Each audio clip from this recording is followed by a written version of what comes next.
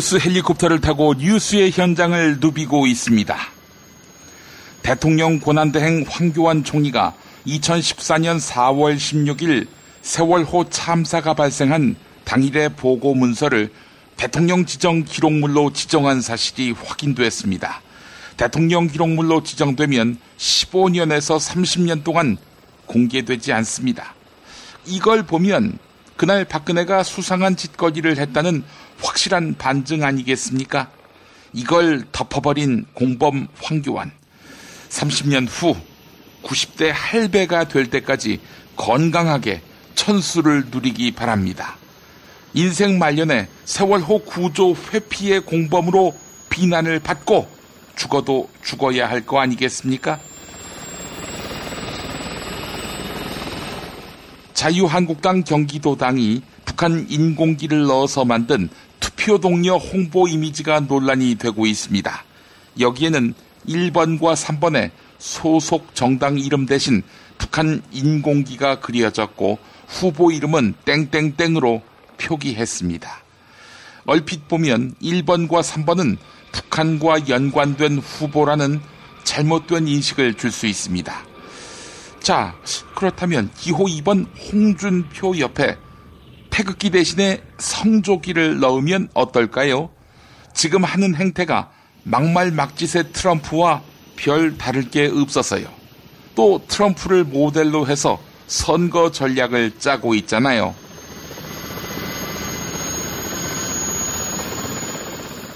바른정당 탈당을 선언했던 13명의 의원 가운데 황영철 의원이 탈당 의사를 철회하고 바른정당에 남기로 했습니다. 탈당파에 대한 거센 비판 여론에 추가 탈당 움직임도 주춤해진 분위기입니다.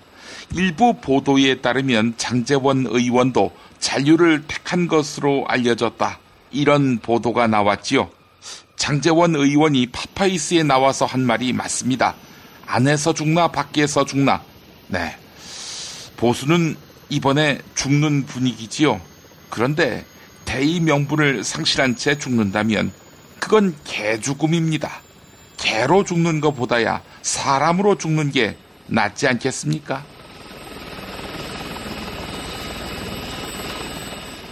광고 후에 김용민의 뉴스 농장이 이어집니다.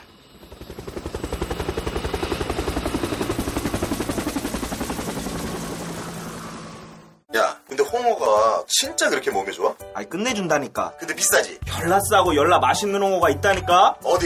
알싸한 홍어 네이버 검색창에 알싸한 홍어를 검색하시고 1599-6456 전화 주문도 가능합니다 노력한 만큼 내어주는 자연 그 자연의 마음을 알기에 정성농장 홍삼 검색창에서 정성농장 홍삼을 검색해주세요 010-9754-6972 다이어트 해야 하는데 좀 간단한 방법 없을까? 다이어트 전용 그린 스무디로 하루 한두 끼만 맛있게 바꿔 드시면 끝! 1522-6648 또는 비타샵을 검색해주세요. 허리가 아파요. 아, 아랫배가 나와요. 골반이 바로서야 건강도 아름다움도 바로섭니다. 바디로직을 입으세요. 토크밴드의 입체적인 탄력이 틀어진 골반을 바로잡습니다. 간편하고 확실한 골반 교정 타이즈 바디로지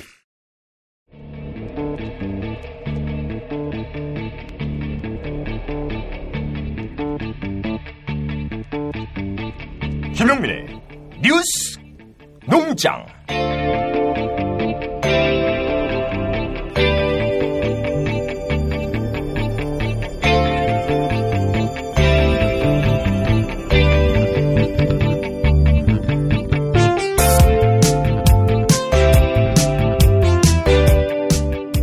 SBS가 난리가 났습니다.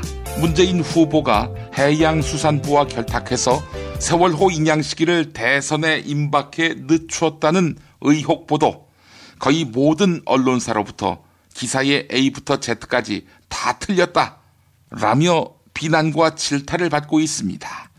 SBS는 결국 사실이 아닌 내용을 보도했다며 사과했습니다.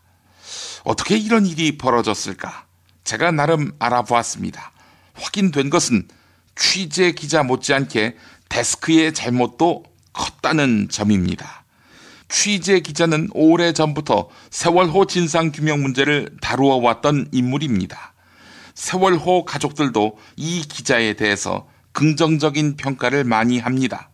그런데 어디서 주워들은 이야기, 출처도 신빙성도 떨어지는 그래서 기사감이될수 없는 아이템인데 이걸 업계 의 용어로 물고 왔습니다. 그런데 담당 데스크가 대충 검증했고 보도를 낸 것입니다. 이 데스크는 누구냐? 편집부 책임자입니다. 편집부라면 취재보다는 뉴스 프로그램의 제작을 담당하는 부서입니다. 그 취재 기자 역시 편집부 소속입니다. 뉴스 프로그램만 잘 나가게 만들면 되는 일인데 괜한 취재 욕심을 냈다고 보는 게 현재로서는 사실에 가깝습니다. 이 아이템을 만약 정치부나 사회부가 다루었다면 고도의 내부 검증이 있었을 것이라는 말도 나오고 있습니다. 정치권에 확인해보는 과정도 분명히 거쳤을 것입니다. 그런데 취재를 전담하지 않는 부서에서 다루다 보니 정밀한 검증이 없었다는 거지요. 심지어 게이트키핑 과정에서 문재인 측과 해수부의 거래가 있었다. 이 점이 강조된 면은 혹시 그 편집 데스크가 어떤 정치적 의도를 갖고 즉 악의적으로 기사를 고친 것은 아닌지 해석할 여지가 많습니다. 그러니까 알려지지 않은 무언가의 정치적 의도가 있었던 것은 아닌지 의심된다는 것입니다. 김성준 보도본부장은 부인하고 있습니다만. 자, 그렇다고 비단 취재 기자 또 편집 책임자 두 사람만의 문제는 아닙니다. 뉴스의 최종 책임은 현재 SBS 8뉴스 앵커인 김성준 보도본부장입니다. 결국 게이트키핑을 담당할 고참 인사도 김성준 본부장이 한 것이고 발제와 보도 역시 김성준 본부장의 제가 없이는 불가능한 것입니다. 게이트키핑의 부실을 넘어 무언가 조직문화의 문제가 있는 것은 아닌지 의심됩니다. 자, 오늘 뉴스 농장은 이 부분을 집중적으로 다루어 보려고 합니다. 우선 김성준 앵커가 어제 저녁 8시 15와 함께 행했던 사과 방송 들어보시겠습니다. 여러분 안녕하십니까? 저희는 어제 8시 뉴스에서 세월호 선체조사위원회 관련 시행령이 국무회의를 통과했으며 이에 따라서 세월호 인양 고의 지연 의혹에 대한 조사도 속도가 붙을 거라는 기사를 방송했습니다. 이 기사는 해양수산부가 박근혜 전 대통령 탄핵 이전까지 세월호 인양이 미온적이었다는 의혹과 탄핵 이후 정권 교체 가능성을 염두에 둔 해수부가 인양에 대한 태도를 적극적인 방향으로 바꿨다는 의혹을 짚으려고 했습니다. 그러나 이 보도는 복잡한 사실관계를 명료하게 분리해서 설명하지 못함으로써 발제 의도와는 전혀 다른 결과를 낳았습니다.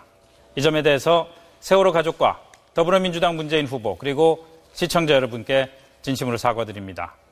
어제 기사가 나간 뒤에 저희 기사에 대해서 제기됐던 대표적인 지적은 해양수산부가 문재인 후보 눈치를 보려고 그동안 세월호 인양을 늦췄다는 거냐는 것이었습니다. 저희 보도 취지는 전혀 그런 것이 아니었습니다. 그렇지만 기사의 앞부분에서 인양 지연 의혹을 세월호 선체 조사위가 들여다볼 거라고 전한 뒤에 기사 후반부에 문재인 후보가 언급되는 의혹을 방송함으로써 결과적으로 문재인 후보가 인양 지연에 책임 있는 것처럼 보이게 만들었습니다. 이는 기사 작성과 편집 과정을 철저히 관리하지 못한 결과입니다. SBS 보도 책임자로서 기사의 게이트키핑 과정에 문제가 생겼다는데 제가 책임을 져야 합니다. 어제 보도에서 또 하나 무리를 빚은 부분은 해수부가 차기 정권에 잘 보여서 고위직 자리를 늘리고 해경을 해수부 산하로 편입시키려는 시도가 있었다는 공무원의 전화 녹취입니다. 기사의 취지는 정권 교체기를 틈탄 부처 이기주의와 눈치 보기가 사라져야 한다는 것이었습니다. 그러나 인터뷰의 일부 자극적인 표현들이 특정 후보에게 근거 없이 부정적인 이미지를 덧 씌울 수 있는데도 여과 없이 방송된 점, 그리고 녹취 내용에 대한 반론을 싣지 못한 것은 잘못입니다. 여기에 대해서도 책임을 통감하면서 사과드립니다. 저희는 해당 기사를 SBS 뉴스 홈페이지와 SNS 계정에서 삭제했습니다. 이것은 우선 기사가 게이트키핑에 대한 자체 기준을 충족하지 못했기 때문이고 이어서 사실과 다른 의혹과 파문 확산의 도구로 쓰이는 것을 막아야 했기 때문입니다. 제가 보도 책임자로서 직접 내린 결정이었습니다. 그 결정에 어떠한 외부의 압력도 없었음을 밝힙니다. 촛불 집회 현장에서 박근혜 전 대통령 탄핵을 둘러싼 논란의 현장에서 세월호 인양의 현장에서 객관적 사실에 부합한 기사를 취재해서 전하려고 노력했던 SBS 보도국 기자들 한 명 한 명의 명예를 걸고 제가 확인드립니다.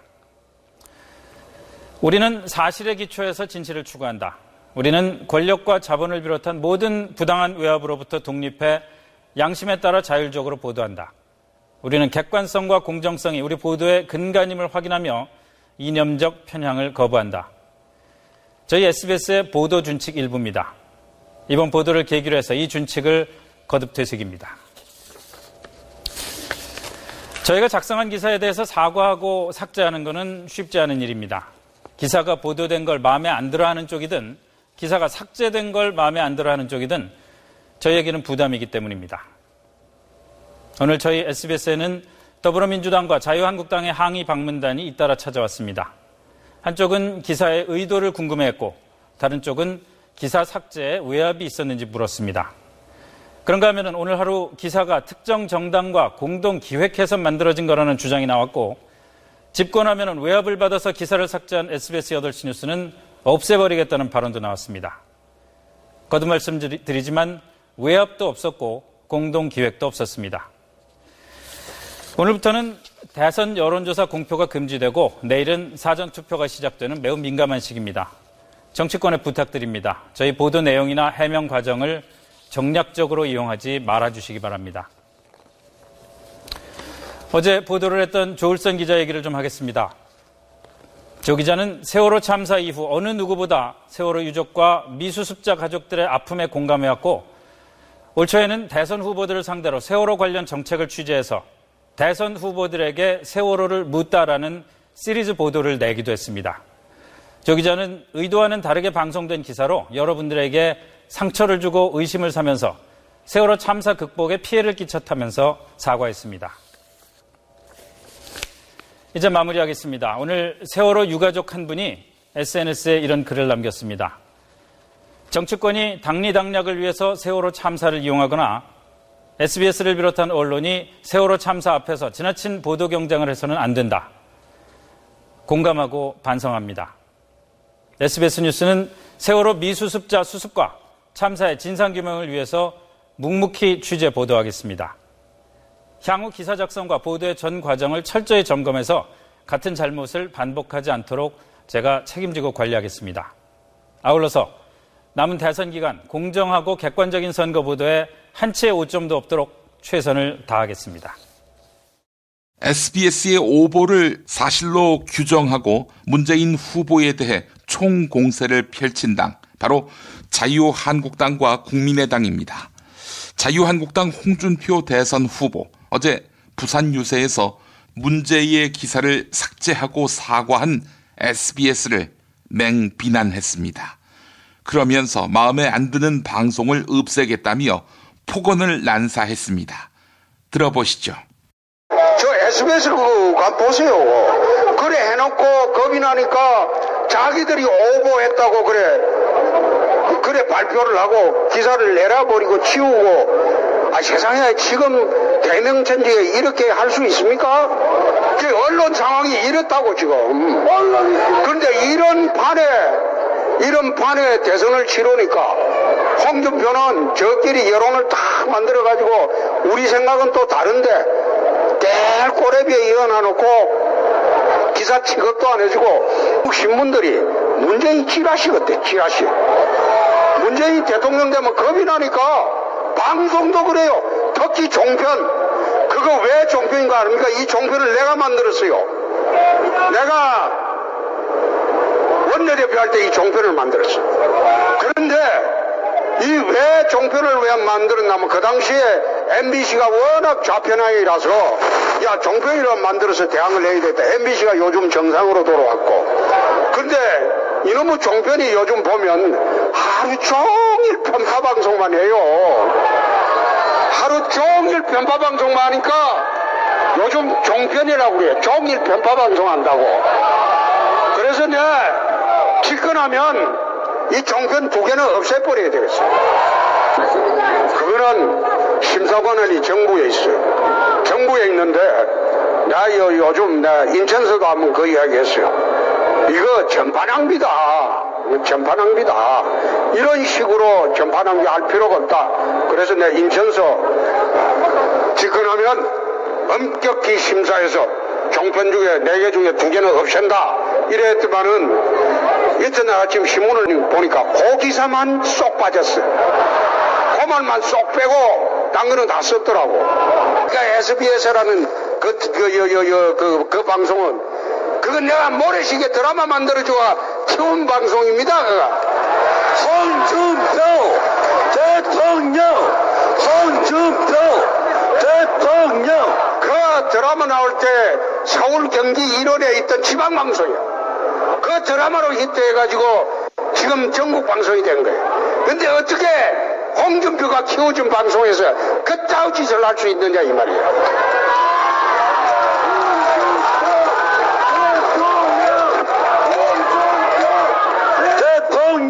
오늘부터 SBS 8시 뉴스 보지 마세요.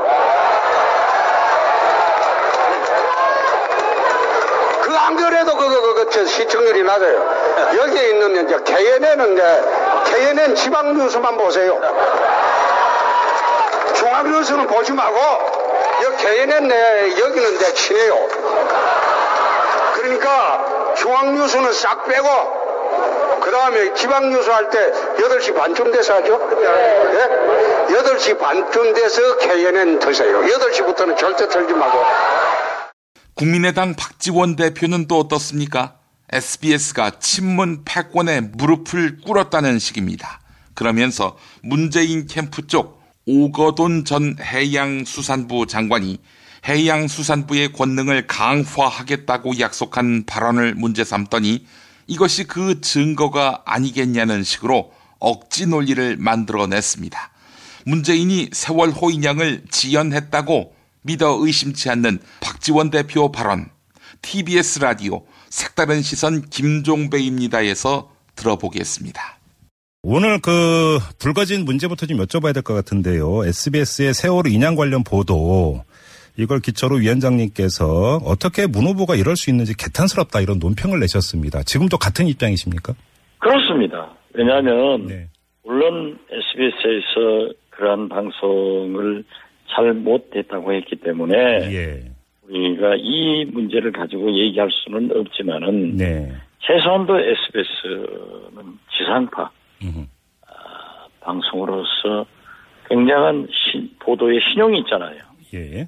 여기에서 헬스부 관계자가 문재인 후보가 세월호 인양 시기를 해산에 음. 맞춰달라. 이런 맞춤형 네. 양이었고 또 그 사실상 그러한 보도를 했다고 하면은 SBS가 문재인 후보의 그 파렴치함을 인양시킨 거예요. 네. 그렇기 때문에 우리가 당연히 문제 제기를 하고 음. 또 제가 어, 부산 선거대책위원장이고 전 해수부 장관인 오거돈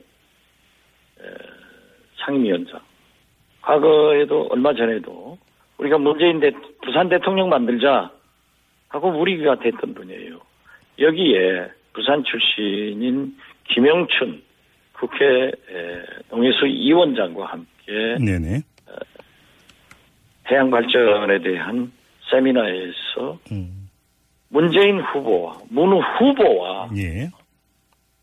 해수이원장 그리고 어, 몇번 협의를 했다. 음흠. 그래서 해양수산부의 수산 담당 2차관을 설립하고 음. 네. 해경도 해수부를 하는 음. 구체적인 동영상을 제가 입수를 했어요. 그래가지고 오늘 우리 대변인을 통해서 공개를 했는데 이러한 문 후보의 일련의 언행에 대해서 최소한 오거돈 전 해수부 장관 현 부산지역 상임공동 상임위원장이 백업을 하고 있잖아요. 네, 알겠습니다. 그럼 관련해서 두 가지 보충 질문을 좀 드리겠습니다. 첫째, SBS 보도의 신빙성에 대해서 말씀을 하셨는데요. 근데 SBS가 그 기사 해당 기사를 삭제를 했고 사과까지 그 밝혔는데 그럼에도 불구하고 보도 내용을 믿어야 된다 이렇게 보세요.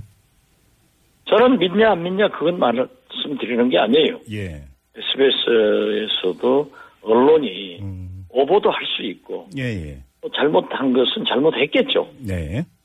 그렇지만은 그러한 항의 과정에서 발생했던 강압적인 태도는 음 대통령 후보로서 네. 민주적 사고가 아니고 예. 오히려 부적절했다. 음. 저는 그렇게 봅니다. 그렇기 때문에 저는 예. 왜 SBS에서는 그러한 보도를 했으며 음. 왜 삭제하고 사과를 했는지 예. 그리고 오늘 뭐 7시인지 8시 뉴스에 그러한 것을 발표한다고 하는데 음. 그러면 오거돈 장관의 그러한 동영상에 나오는 발언의 요지는 예. 어떻게 부합되는가? 음. 박지원 대표가 세월호 인양을 늦춘 것이 문재인 책임이다. 이렇게 의심하고 있는데 같은 당 김경진 의원은 전혀 다른 시각입니다. 김기춘 청와대 비서실장 책임으로 보고 있는데요. 세상을 떠난 김영한 민정수석 비망록을 근거로 해서 말입니다. 나아가 이런 지적에 대해서 부인하는 김기춘에게 당신 지옥 갈 거라고 했습니다. 지난 박근혜 최순실 게이트 청문회 현장으로 가보겠습니다 김영한 비망록 얘기 최근에 언론에서 많이 접하셨죠?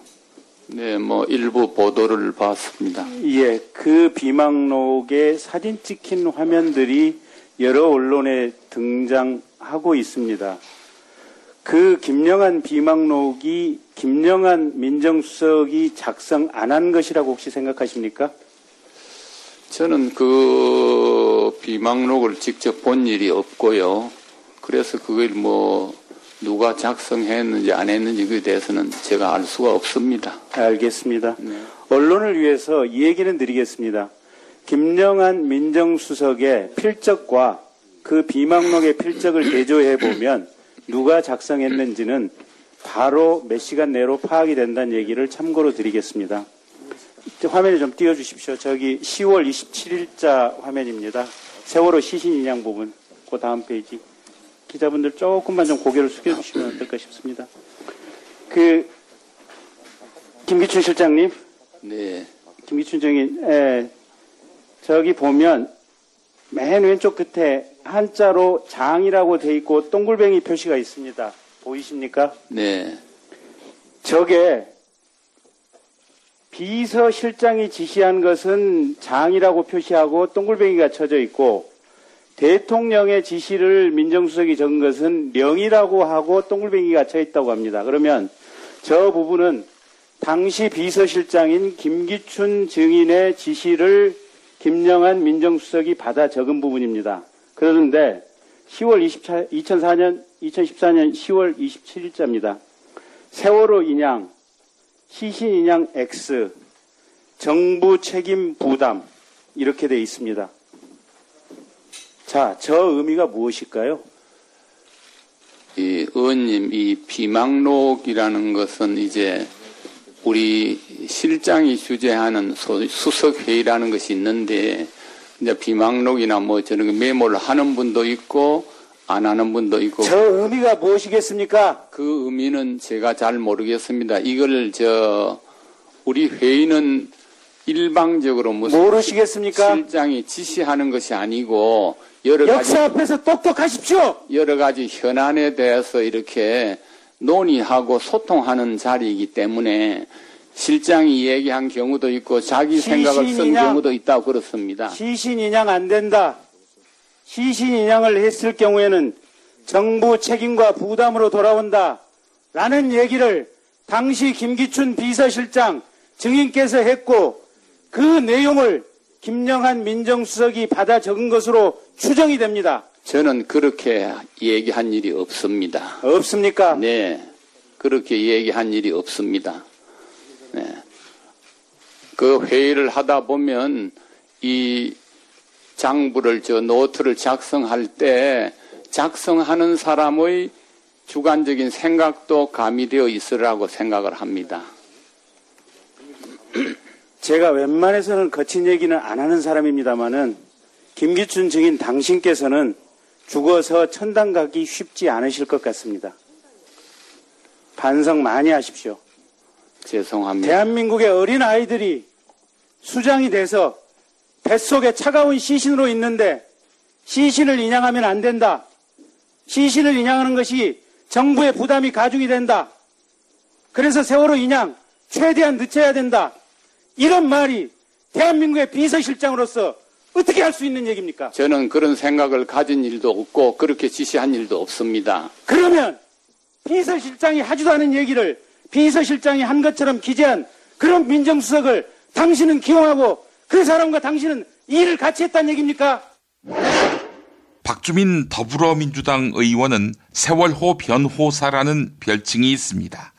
세월호 참사 이후 지금까지 참사 수습의 맥락을 꿰뚫고 있는데 문재인과 해양수산부 사이의 거래설이 허위이자 몰약이라고 차분하게 설명합니다. CBS 라디오 시사자키 정관용입니다. 일부 들어보시죠. 더 일찍 인양할 수 있었는데 대선 시점 바로 직전에 딱 인양하려고 일부러 하, 아, 려고 일부러 늦췄다는 거죠. 어... 인양을. 예.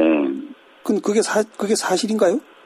아니 그렇지 않죠. 예. 아시다시피 이제 인양 어, 지연에 대한 논란은 오래전부터 있었거든요. 네네. 네. 그러니까 2014년 11월에 수중수색이 종료됐을 때부터 예. 인양을 하자 수중수색을 종료됐으니까 예. 또 다른 수색 방법으로 계속 가족분들이 그런 요구를 했는데 묵살되다가 2015년 4월에 결정된 거 아닙니까? 예, 예. 그리고 나서 인양하기로 결정한 뒤에도 인양업체 선정, 인양공법 결정, 뭐 이러면서 계속 지연 논란이 있었어요. 예. 근데 그 SBS 보도 취지에 따른다면은 그건 그러면 3년 전부터 해수부 공무원들이 어 이 대선이 이제 탄핵이 있을 거고 그래서 대선이 이 시기에 치러질 거고 그러니까 철저히 지연시켜 가지고 어, 끌고 나가자 이렇게 예측하고 예견했다는 건데 하하. 신이 아니고서 그렇게 할 수가 없죠. 3년 전에 탄핵과 조기 대선을 예측했다.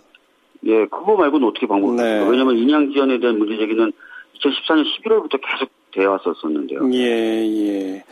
그리고 뭐 제2차관을 신설한다, 해경을 네. 다시 해수부로 편입한다, 뭐, 네. 뭐 이런 거에 대한 약속이 오갔다는 거는 뭡니까? 어, 그거는 말도 안 되는 얘기고요. 문후보 쪽에 어떤 선대위에서는 2차관 신설 약속한 바가 없고요. 어, 해경 같은 경우 국립형 해경청 건설을 지금 정책으로 내세우고 있고, 있기 때문에 예. 저는 사실은 다르죠. 예. 그 SBS는 익명의 해수부 공무원을 출처로 해서 그 발언을 인용하는 식의 보도였지 않습니까? 예예예. 예, 예, 그 직원이 누군지는 밝혀졌나요?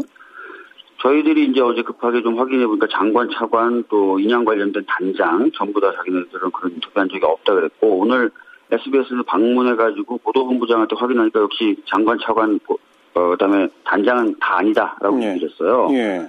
어, 그렇게 그러니까 실질적으로 인양에 대해서 어떤 결정할 수 있는 자리에 있는 사람들은 전혀 인터뷰 안 한 거고, 예.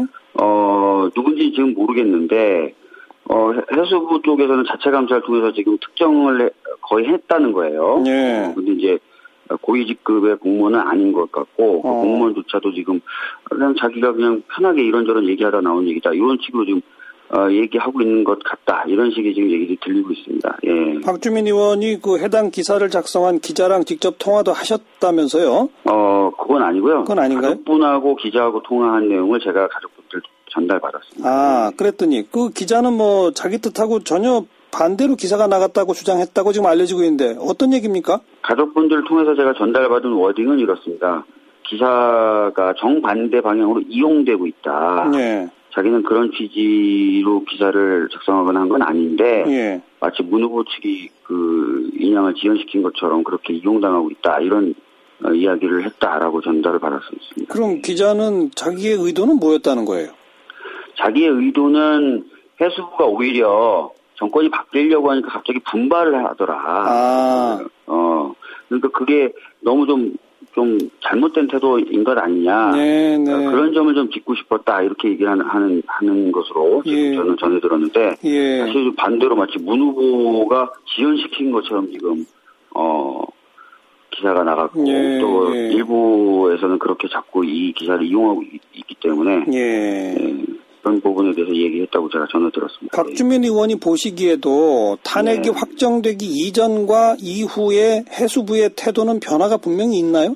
그렇죠. 그러니까 박근혜 대통령이 전 대통령이 있었을 때는 해수부나 이쪽에서 다 인양에 대해서 소극적이었다는 것은 마, 많은 국민들이 지적했던 바 아닙니까? 예. 어 그리고 이제 유승민 전 원내대표도 박근혜 전 대통령 앞에서는 세월호 실제로 꺼내기 어려웠다라고 고백을 했었던 거였어요. 네네. 어 그러다가 이제 탄핵이 될 무렵 그리고 탄핵이 되고 나니까 이제 공무원들이 이제 그런 어떤 어, 걸림돌이 없어지니까 열심히 하는 측면도 있고 또 제가 봤을 땐 정권이 바뀌게 되면은 좀 문책 받을 수 있잖아요. 예, 예, 그동안, 예, 그동안 뭐 했냐. 그렇죠. 그래서 그런 예. 문책도 좀 피하려고 그러는지 예. 최근 들어서 굉장히 열심히 예, 하는 모습들을 볼 수 있습니다. 예. 네.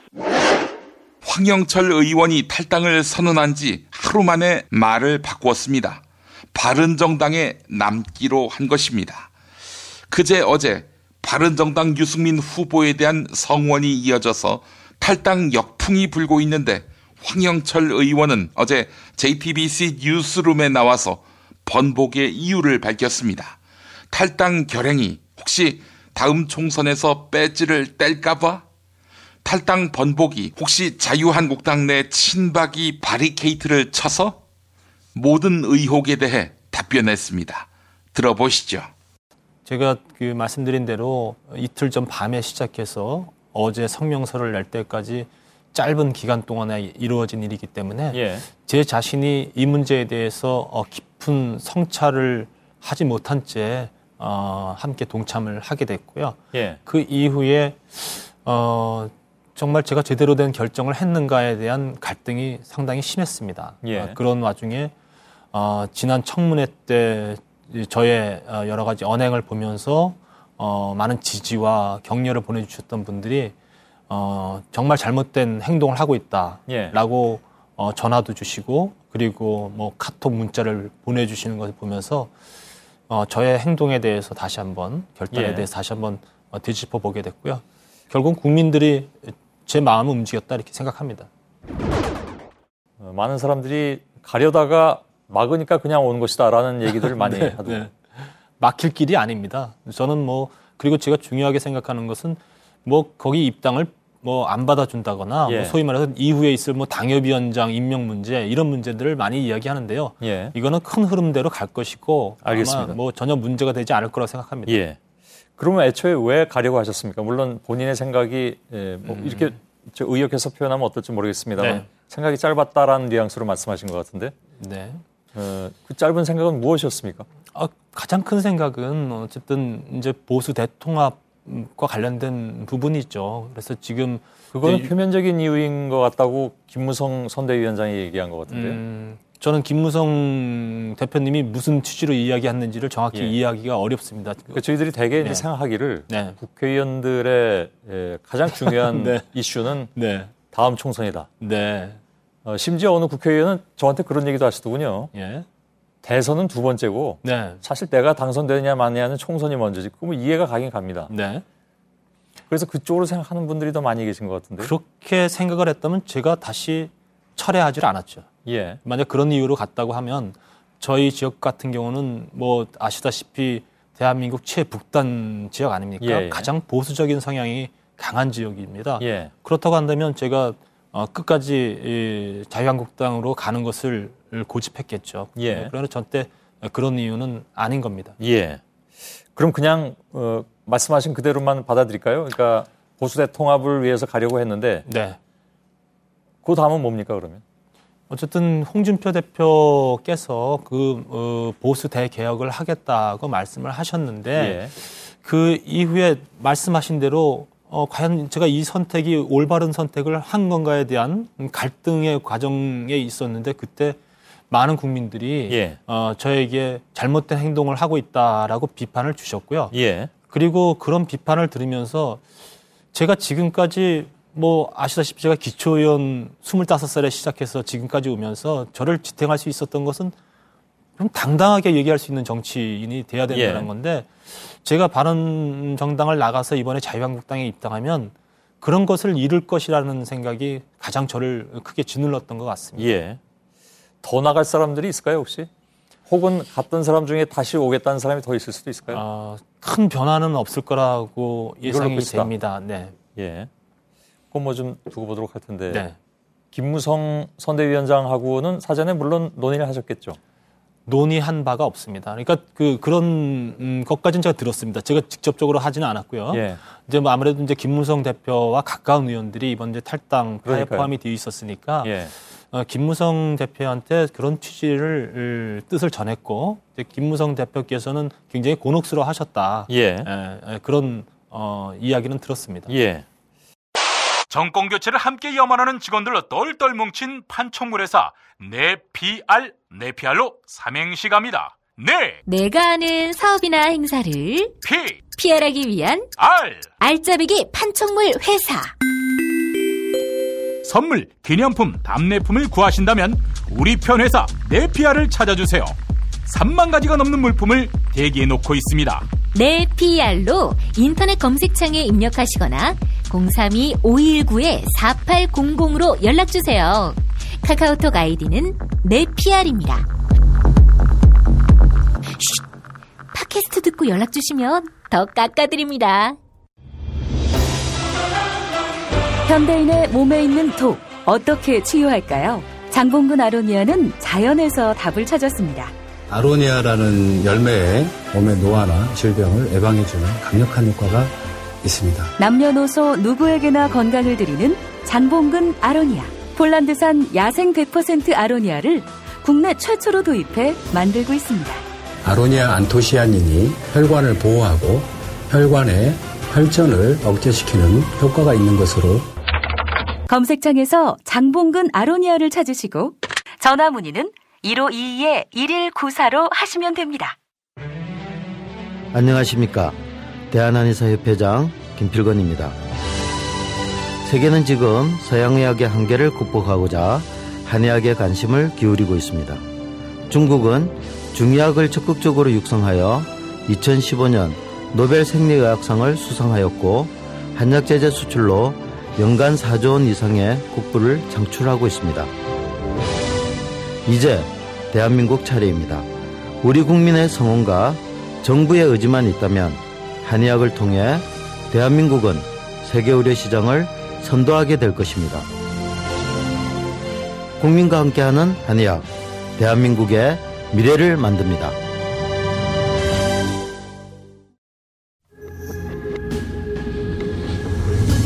안녕하십니까. 문재인입니다.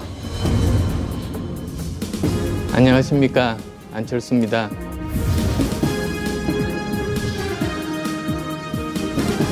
세계의 양자토론 문안토론 네 오늘도 문과 안 나오셨습니다 경남도민 여러분 마산 시민 여러분 홍준표가 경남의 자존심을 무너뜨렸습니다 경남이 나서서 홍준표를 심판해 주십시오 당신이야말로 심판당해야 합니다 짐승만도 못한 인간 세월호 인양을 늦춘 것이 당신 아닙니까? SBS가 그랬습니다. SBS가 오보라고 사과했어요. 일개 팟캐스트도 아니고 지상파 방송사에서 어떻게 그런 오보를 냅니까? 보도국 데스크랑 담당 기자가 수차례 팩트 체크했을 거 아니겠습니까? 그러니까 문제가 되는 거지요. SBS의 대선 개입 의도 타분해 보입니다. 당신이 기사 내리게 한 겁니까? 그렇다면 이건 보도 지침입니다. 대통령이 되기도 전에 언론을 탄압하다니 우리 안 후보님이야말로 언론에 형사고발한다고 급박하지 않았던가요? 현충원에서 갑질한다고 사실을 보도했는데도 말이죠. 또 갑철수 타령입니까? 박지원 대표도 당신이 끔찍하다고 했습니다. 해양수산부도 그랬어요. SBS와 통한 세월호 인양 관계자가 없다고요. 해수부도 SBS에 법적 대응을 할 거다. 이렇게 밝혔습니다. 도대체 제가 뭘 잘못한 것이죠? 해수부가 벌써 당신한테 줄 서는 겁니다. 지지율이 하락하니까 이성을 잃으신 것 같습니다. 세월호 특별법보다 박근혜가 말한 민생법안이 더 중요하다고 한 사람들 누굽니까? 세월호 유가족들 보기 부끄럽지 않습니까? 세월호 유가족들 눈에는 제가 안 보입니다. 저를 봐도 쌩깝니다. 뒤통수에다 대고 인사를 하니깐 못 보지요. 세월호 리본도 좀 다세요. 유가족들은 세월호를 정치에 이용하는 자들 구역질 난다고 하셨습니다. 구역질이 난다니 건강이 안 좋은 모양입니다. 의사 출신인 제가 대통령이 되면 모두 해결할 수 있습니다. 안 후보님 전국의 의사 간호사들이 저를 지지하고 있어요. 보건 적폐 청산의 책임자 바로 저 문재인이라고 말이죠. 근데 언론에서는 보도를 안 해줍니다. 그래서 이번에 당신한테 줄선 SBS가 당신 특집 보도해준 거 아니겠습니까? 그리고 박지원 선배가 다시 고통받고 있습니다. 문바들의 문자 폭탄병이 또 도졌다는 거 아닙니까? 제 지지자분들은 유세 현장에 나오기도 바쁩니다. 근데 안 후보님 유세 현장에서는 중학생 아이들한테 시발놈 이러면서 욕한다고요. 이게 제정신입니까? 유세하고 있는데 시끄럽다고 피켓 시위를 했습니다. 이건 명백한 유세방해 아닙니까? 아니 안 후보님 선거 유세원이 어린 아이들한테 전쟁이야 씨발 뭐 이랬다면서요. 아니 아이들하고 무슨 전쟁을 벌인단 말입니까?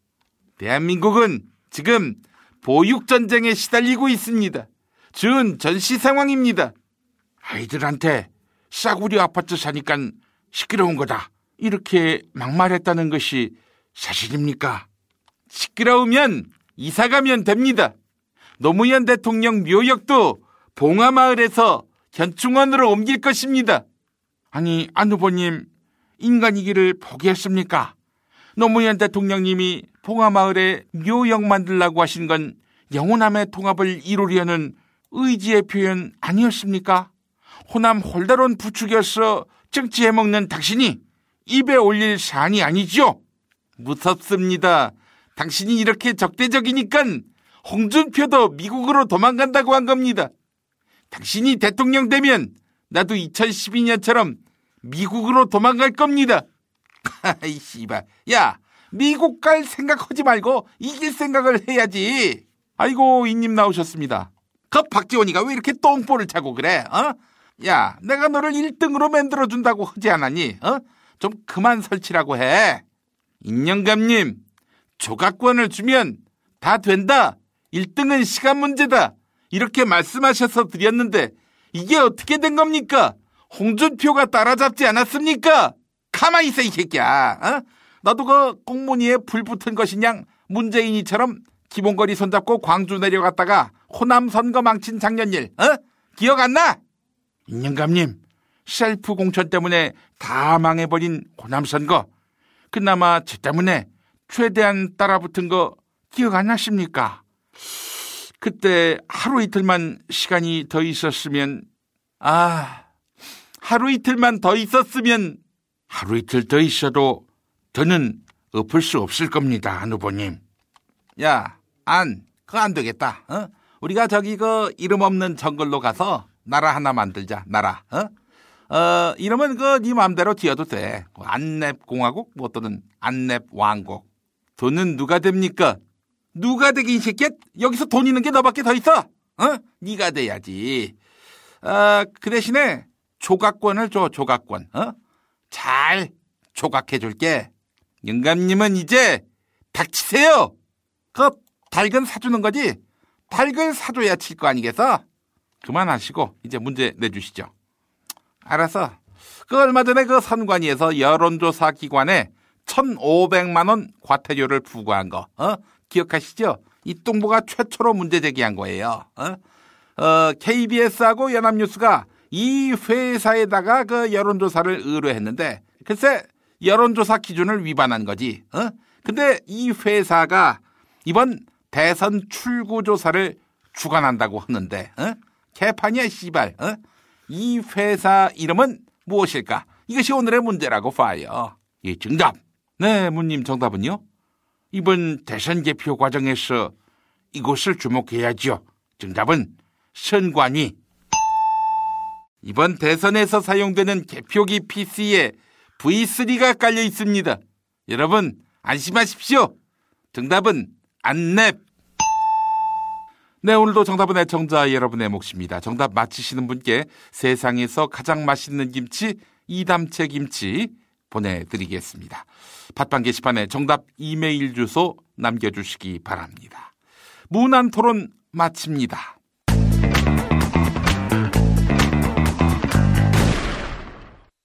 박근혜 왜 저러지? 문재인, 김무성, 안철수는 또 왜 저러지? 뉴스로는 알 수 없는 진짜 정치 현장 이야기. 한겨레 정치팀 기자들이 취재 수첩을 낱낱이 공개합니다. 본격 정치관찰 팟캐스트. 언니가 보고 있다. 팟빵에서 언니를 검색하세요. 한겨레 정치바와 함께하는 정치 한 건에 써. 한겨레 이승준 기자 만나겠습니다. 이승준 기자님. 네, 안녕하세요. 예, 예.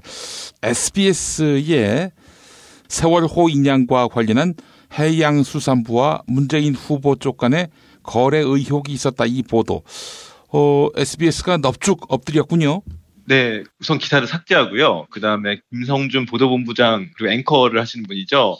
예, 그분이 자기의 명의로 사과문도 냈습니다. 절대 세월호를 정치적으로 이용하려는 언론 없었고 게이트키핑 과정이 실수였다. 이렇게 하고 자체 조사를 하겠다는 입장을 냈는데요. 음. 그리고 이제 더불어민주당에서 이제 송영길 의원이랑 박주민 의원이 SBS 항의 방문을 했어요. 예. 그래서 어제 저녁 SBS 뉴스에서 이 사과 방송도 했습니다. 예.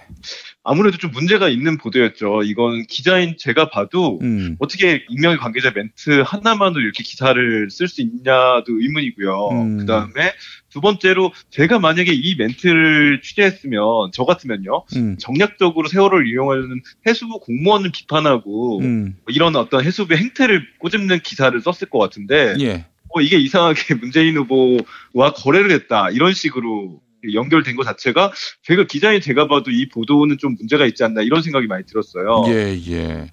그러니까 그 SBS의 의도는 이 해양수산부 공무원의 발상 이 발상이 잘못됐다는 쪽의 방점이 찍혔는데 그 의도가 잘 기사 속에 녹아나지 못했다.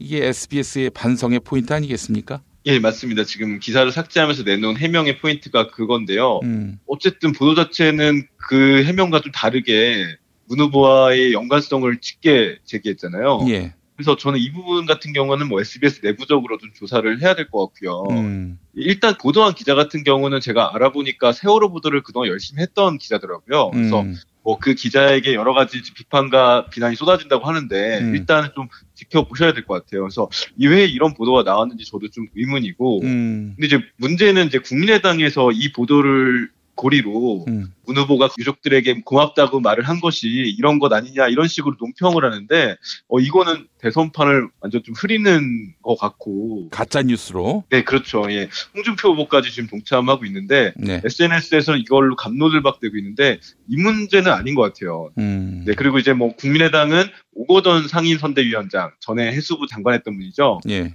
이분이 몇 주 전에 해수부 2차관 약속을 했다. 음. 이런 걸 고리로 또 공격을 하고 있는데 음. 이거는 선거 과정에서 어, 우리가 해수부를 발전시킬 것이다. 이렇게 얘기한 부분인데, 음. 이게 세월호랑 연결되는 것도 좀 이해가 안 되고요. 아니, 그 해수부의 발전은 곧 결국에는 부산이라는 지역에 이익하고도 연결되는 부분이기 때문에 또 부산시장 후보로도 나왔던 오거돈 씨 아니겠어요? 그 오거돈 씨로서는 지금 문재인을 돕고 있으니까요.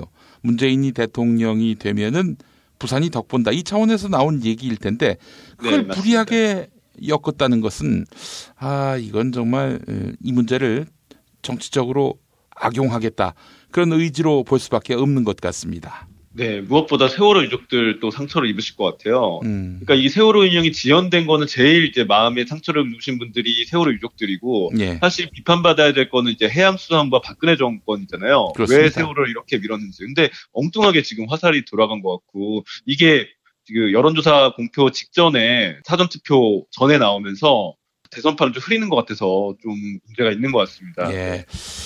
이게 또 여론조사를 공표를 못할 시점이다 보니까 이런 악선전들 가짜 뉴스를 동원한 판흐리기 이게 더욱 기승을 부릴 것으로 보이는데 때마침 5월 2일 마지막 조사가 이루어지는 그날 그날 이렇게 보도가 됐기 때문에 더욱더 더불어민주당으로서는 막 화가 날 일이죠.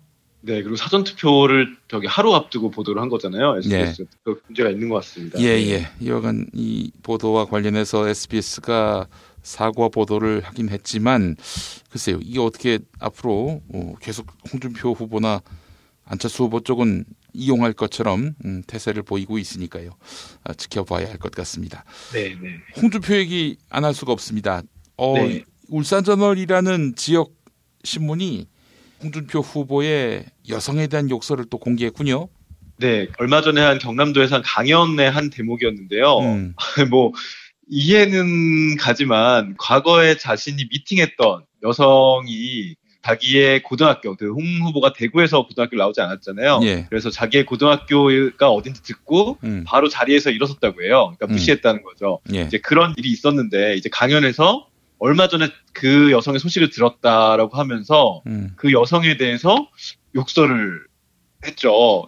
욕설한 내용이 무엇인지 뭐 대략 찾아보시면 알 수 있을 겁니다만은 네, 이건 네. 뭐아 이거는 진짜 최악의 욕인데요.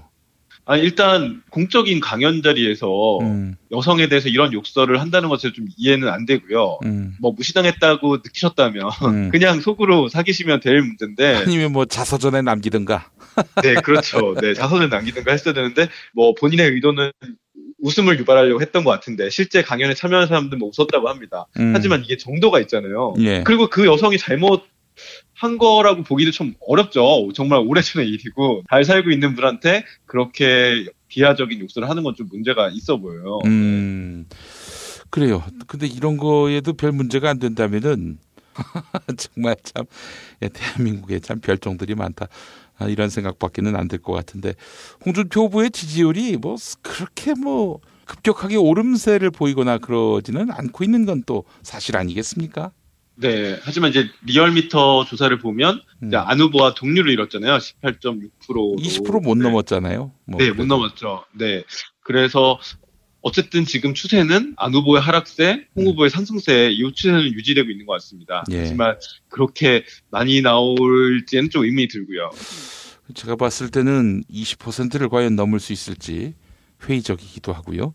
그 이제 뭐 자기 좋아하는 사람들 또 항상 새누리당을 찍었던 이런 분들 이런 분들이 이제 규합된다 하더라도 아, 20%를 넘을 수 있을까요? 저는 그 의문이고요. 어, 게다가 또 이런 계속된 폭언들, 계속된 허위 사실 유포, 여기서 보수의 희망을 느낄 사람이 몇이나 있을지 하는 생각도 드는데 우리만의 생각일 수도 있겠습니다만은 네, 참 이해하기 어려운 참 어, 난해한 대한민국입니다.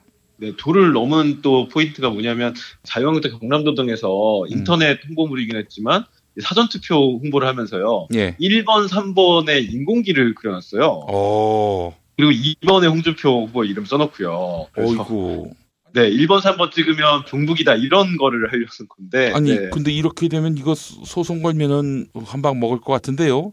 네, 문제가 돼서 이제 경남도당에서는 그 인터넷에 올렸던 거기 때문에 삭제를 했고요. 네. 선관위에서도 한번 살펴본다고 하는 것 같더라고요. 지역 선관위에서. 음. 근데 이제 이게 삭제는 했지만 뭐 카톡 등으로 인해서 계속 퍼져나갈 수밖에 없잖아요. 음. 이거 색깔론도 정도가 있지 사실상 이거는 뭐 국가보안법 위반이라는 생각 들고요. 인공기를 공공연히 그 홍보물에 썼으니까요. 음. 근데 색깔론도 이 정도가 있는 너무 도가 지나친 것 같아서 이제 예. 홍 후보한테 이 한국사에서 회 20%가 나온다고 하면 음. 전좀 고민이 될 것 같기도 해요. 예. 김용민이가 막 화를 내겠어요. 예. 네. 나는 이게 뭔가. 네. 네. 예. 아, 농담이었고요. 자, 어, 바른정당 상황 한번 좀 짚어보지요. 황영철 의원이 하루 만에 탈당을 번복했네요. 예, 번복했습니다. 주변 의견을 들어봤을 때 뭐 좀 항의를 많이 받았나 봐요. 특히 뭐 청년들한테 문자를 많이 받았다고 합니다. 왜냐하면 황영철 의원이 지난 그 박근혜 최순실 국정조사 청문회에서 음. 스타로 등극했었잖아요. 네. 당시에 차은택, 최순실이 청와대 보안 손님이라는 답변을 이끌어낸 것도 허영철 의원이었고, 음. 당시에 뭐 야당 같은 여당 의원이다 이렇게 인기를 모았던 분인데 이번에 이런 선택을 한 것에 대해서 주변에 비난이 많았던 것 같습니다. 음. 그리고 두 번째는 이제 자유한국당의 친박 들이라고 하는 사람들이 뭐 옥석을 가리겠다, 거룩의 낯작이 있냐 이런 반발을 하는 것을 보면서 좀 고민을 했던 것 같아요. 예. 그리고 예. 화영철 의원이 약간 고민 중이었는데 음. 이제 탈당하겠다고 강하게 주장하는 사람한테 끌려갔다는 얘기도 있어요. 음. 아, 네. 그래요. 그래서 어. 이제 고민하다가 다시 돌아오는 걸로 음. 예 이렇게 지금 분석은 되고 있고요. 그래서 다시 이제 바른정당을 뛰겠다 이렇게 입장을 밝혔습니다. 아이고 그렇군요. 그 장재원 의원은 탈당 입장을 고수한답니까? 네, 현재 지금 고수하고 있는데요. 예. 네, 일단 박근혜 대통령 구속을 열심히 외쳤던 분인데 예. 자유한국당에 다시 돌아간다는 좀 이해가 안 되고요. 아니 그 또 그동안 해왔던 말들이 너무나 많아요. 어 뭐 안에서 죽나 나가서 죽나 똑같지 않느냐 나는 끝까지 유승민을 지키겠다 이랬던 사람인데 며칠 네. 전에 네 맞습니다 며칠 안 됐죠 그게 네. 예 화가 납니다 아 이게 무슨 정치인들의 말이 그 며칠 만에 확 뒤집힐 것 같으면은 그런 사람이 정치하면 안 되죠. 예. 네. 황영철 의원 같은 경우도 4월 13일에 막 울분을 토했었어요. 바른정당을 지켜달라고 유승민 후보를 지켜달라고 회의에서 울분을 토했는데 음. 정말 2, 3주도 안 돼서 이렇게 했다가 또 번복하고 이것도 사실 보기에는 좋진 않죠. 예. 네. 그래도 뭐 제정신 차리고 어뭐 탈단계를 그 스스로 번복한 것은 뭐 잘한 일이 아닌가 이런 생각을 또 해보게 됩니다. 네. 자, 이런 가운데 마지막 여론조사 결과들이 속출하고 있습니다. 그런데 여의도 연구원의 자체 여론조사 결과가 논란이 되고 있죠? 네, 이제 여의도 연구원이 처음으로 사실 외부에 공포했어요. 네. 사실상 그동안 여의도 연구원 조사는 정확하다고 정치권에서 통용되던 조사긴 한데 이번에 처음으로 공표를 했는데 네. 원래 선거법에서 정당에서 한 조사는 외부 공표를 할 수 없습니다. 아 그래요? 오. 어. 더불어민주당 같은 경우는 제가 예전에 국회에서 출입할 때도 음. 아무리 선거 전에라도 기자들한테도 공개하지 않았어요. 예. 대략적인 추세만 공개하는 거죠. 당 음. 자체 여론조사에서 우리 후보가 어디까지 가고 있다, 예. 당 지지율이 어떻다. 대략적인 추세만 얘기하지 실제 수치는 발표하지 않았는데 예. 이번에 발표를 했습니다. 여기서 이제 결과가 홍 후보가 음. 24.9%나 나오고요. 음. 뭐 안철수 후보를 5%포인트 정도 앞서는 걸로 나왔는데 음. 일단 좀 튀는 여론조사고요. 음. 그다음에 이제 선관위의그 여의도 연구원 같은 경우에 이게 불법인지 의뢰를 하긴 했더라고요. 선관위 음. 답변은 정당에서 의뢰한 게 아니고 자체 조사라면 음. 어, 할수 있다라는 답변을 줬고 이제 여의도 연구원 같은 경우는 자유한국당의 의뢰를 받은 것이 아니라 우리 자체적으로 조사한 것이라고 했는데 사실 여의도연구원 같은 게 자유한국당의 부설기관이잖아요. 그렇죠. 사실상 의뢰하지 않았다는 말을 믿기도 참 어렵고 음. 어쨌든 당의 입장에 치우친 여론조사가 나올 수도 있는 건데 여러 가지 의문을 가질 수 있는 건데 선거전을 발표한 것이 과연 이 맞는 것인가 이건 논란이 될 것 같아요. 음. 네, 근데 송강희 쪽 입장은 일단 여의도 연구원이 자체 조사라고 하니 그 말을 믿을 수밖에 없다라고 하는데요. 음. 근데 이제 일단 여기에 제일 어, 발끈한 쪽은 국민의당입니다. 왜냐하면 홍 후보보다 뒤지는 걸로 나왔기 때문에 음. 어, 박지원 대표가 공격하긴 했어요. 네, 여의도 연구은 자유한국당 부설 기관이라고. 음. 일단 여의도 연구이 발표한 건 적절성 여부는 좀 문제가 있어 보이고요. 물론 이제 앞으로 여론조사가 마지막 여론조사까지 나올 때까지는 좀 지켜봐야겠죠. 뭐. 예, 네. 예, 예.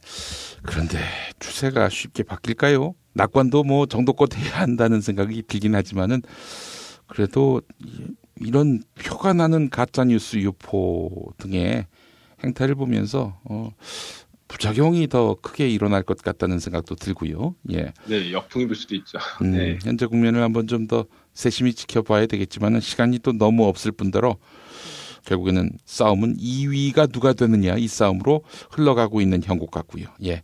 이런 가운데서 자유한국당은 어떻게든 홍준표가 올라가고 있다라는 점을 예, 알리고 싶어서 자체 부설기관 여론조사까지 들춰내고요. 이 역시도 이제 억지란 말이죠. 오버고요.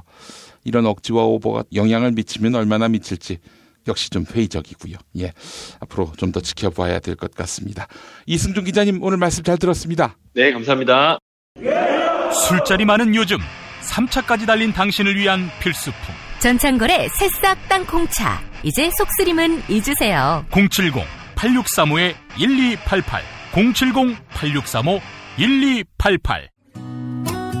안녕하세요.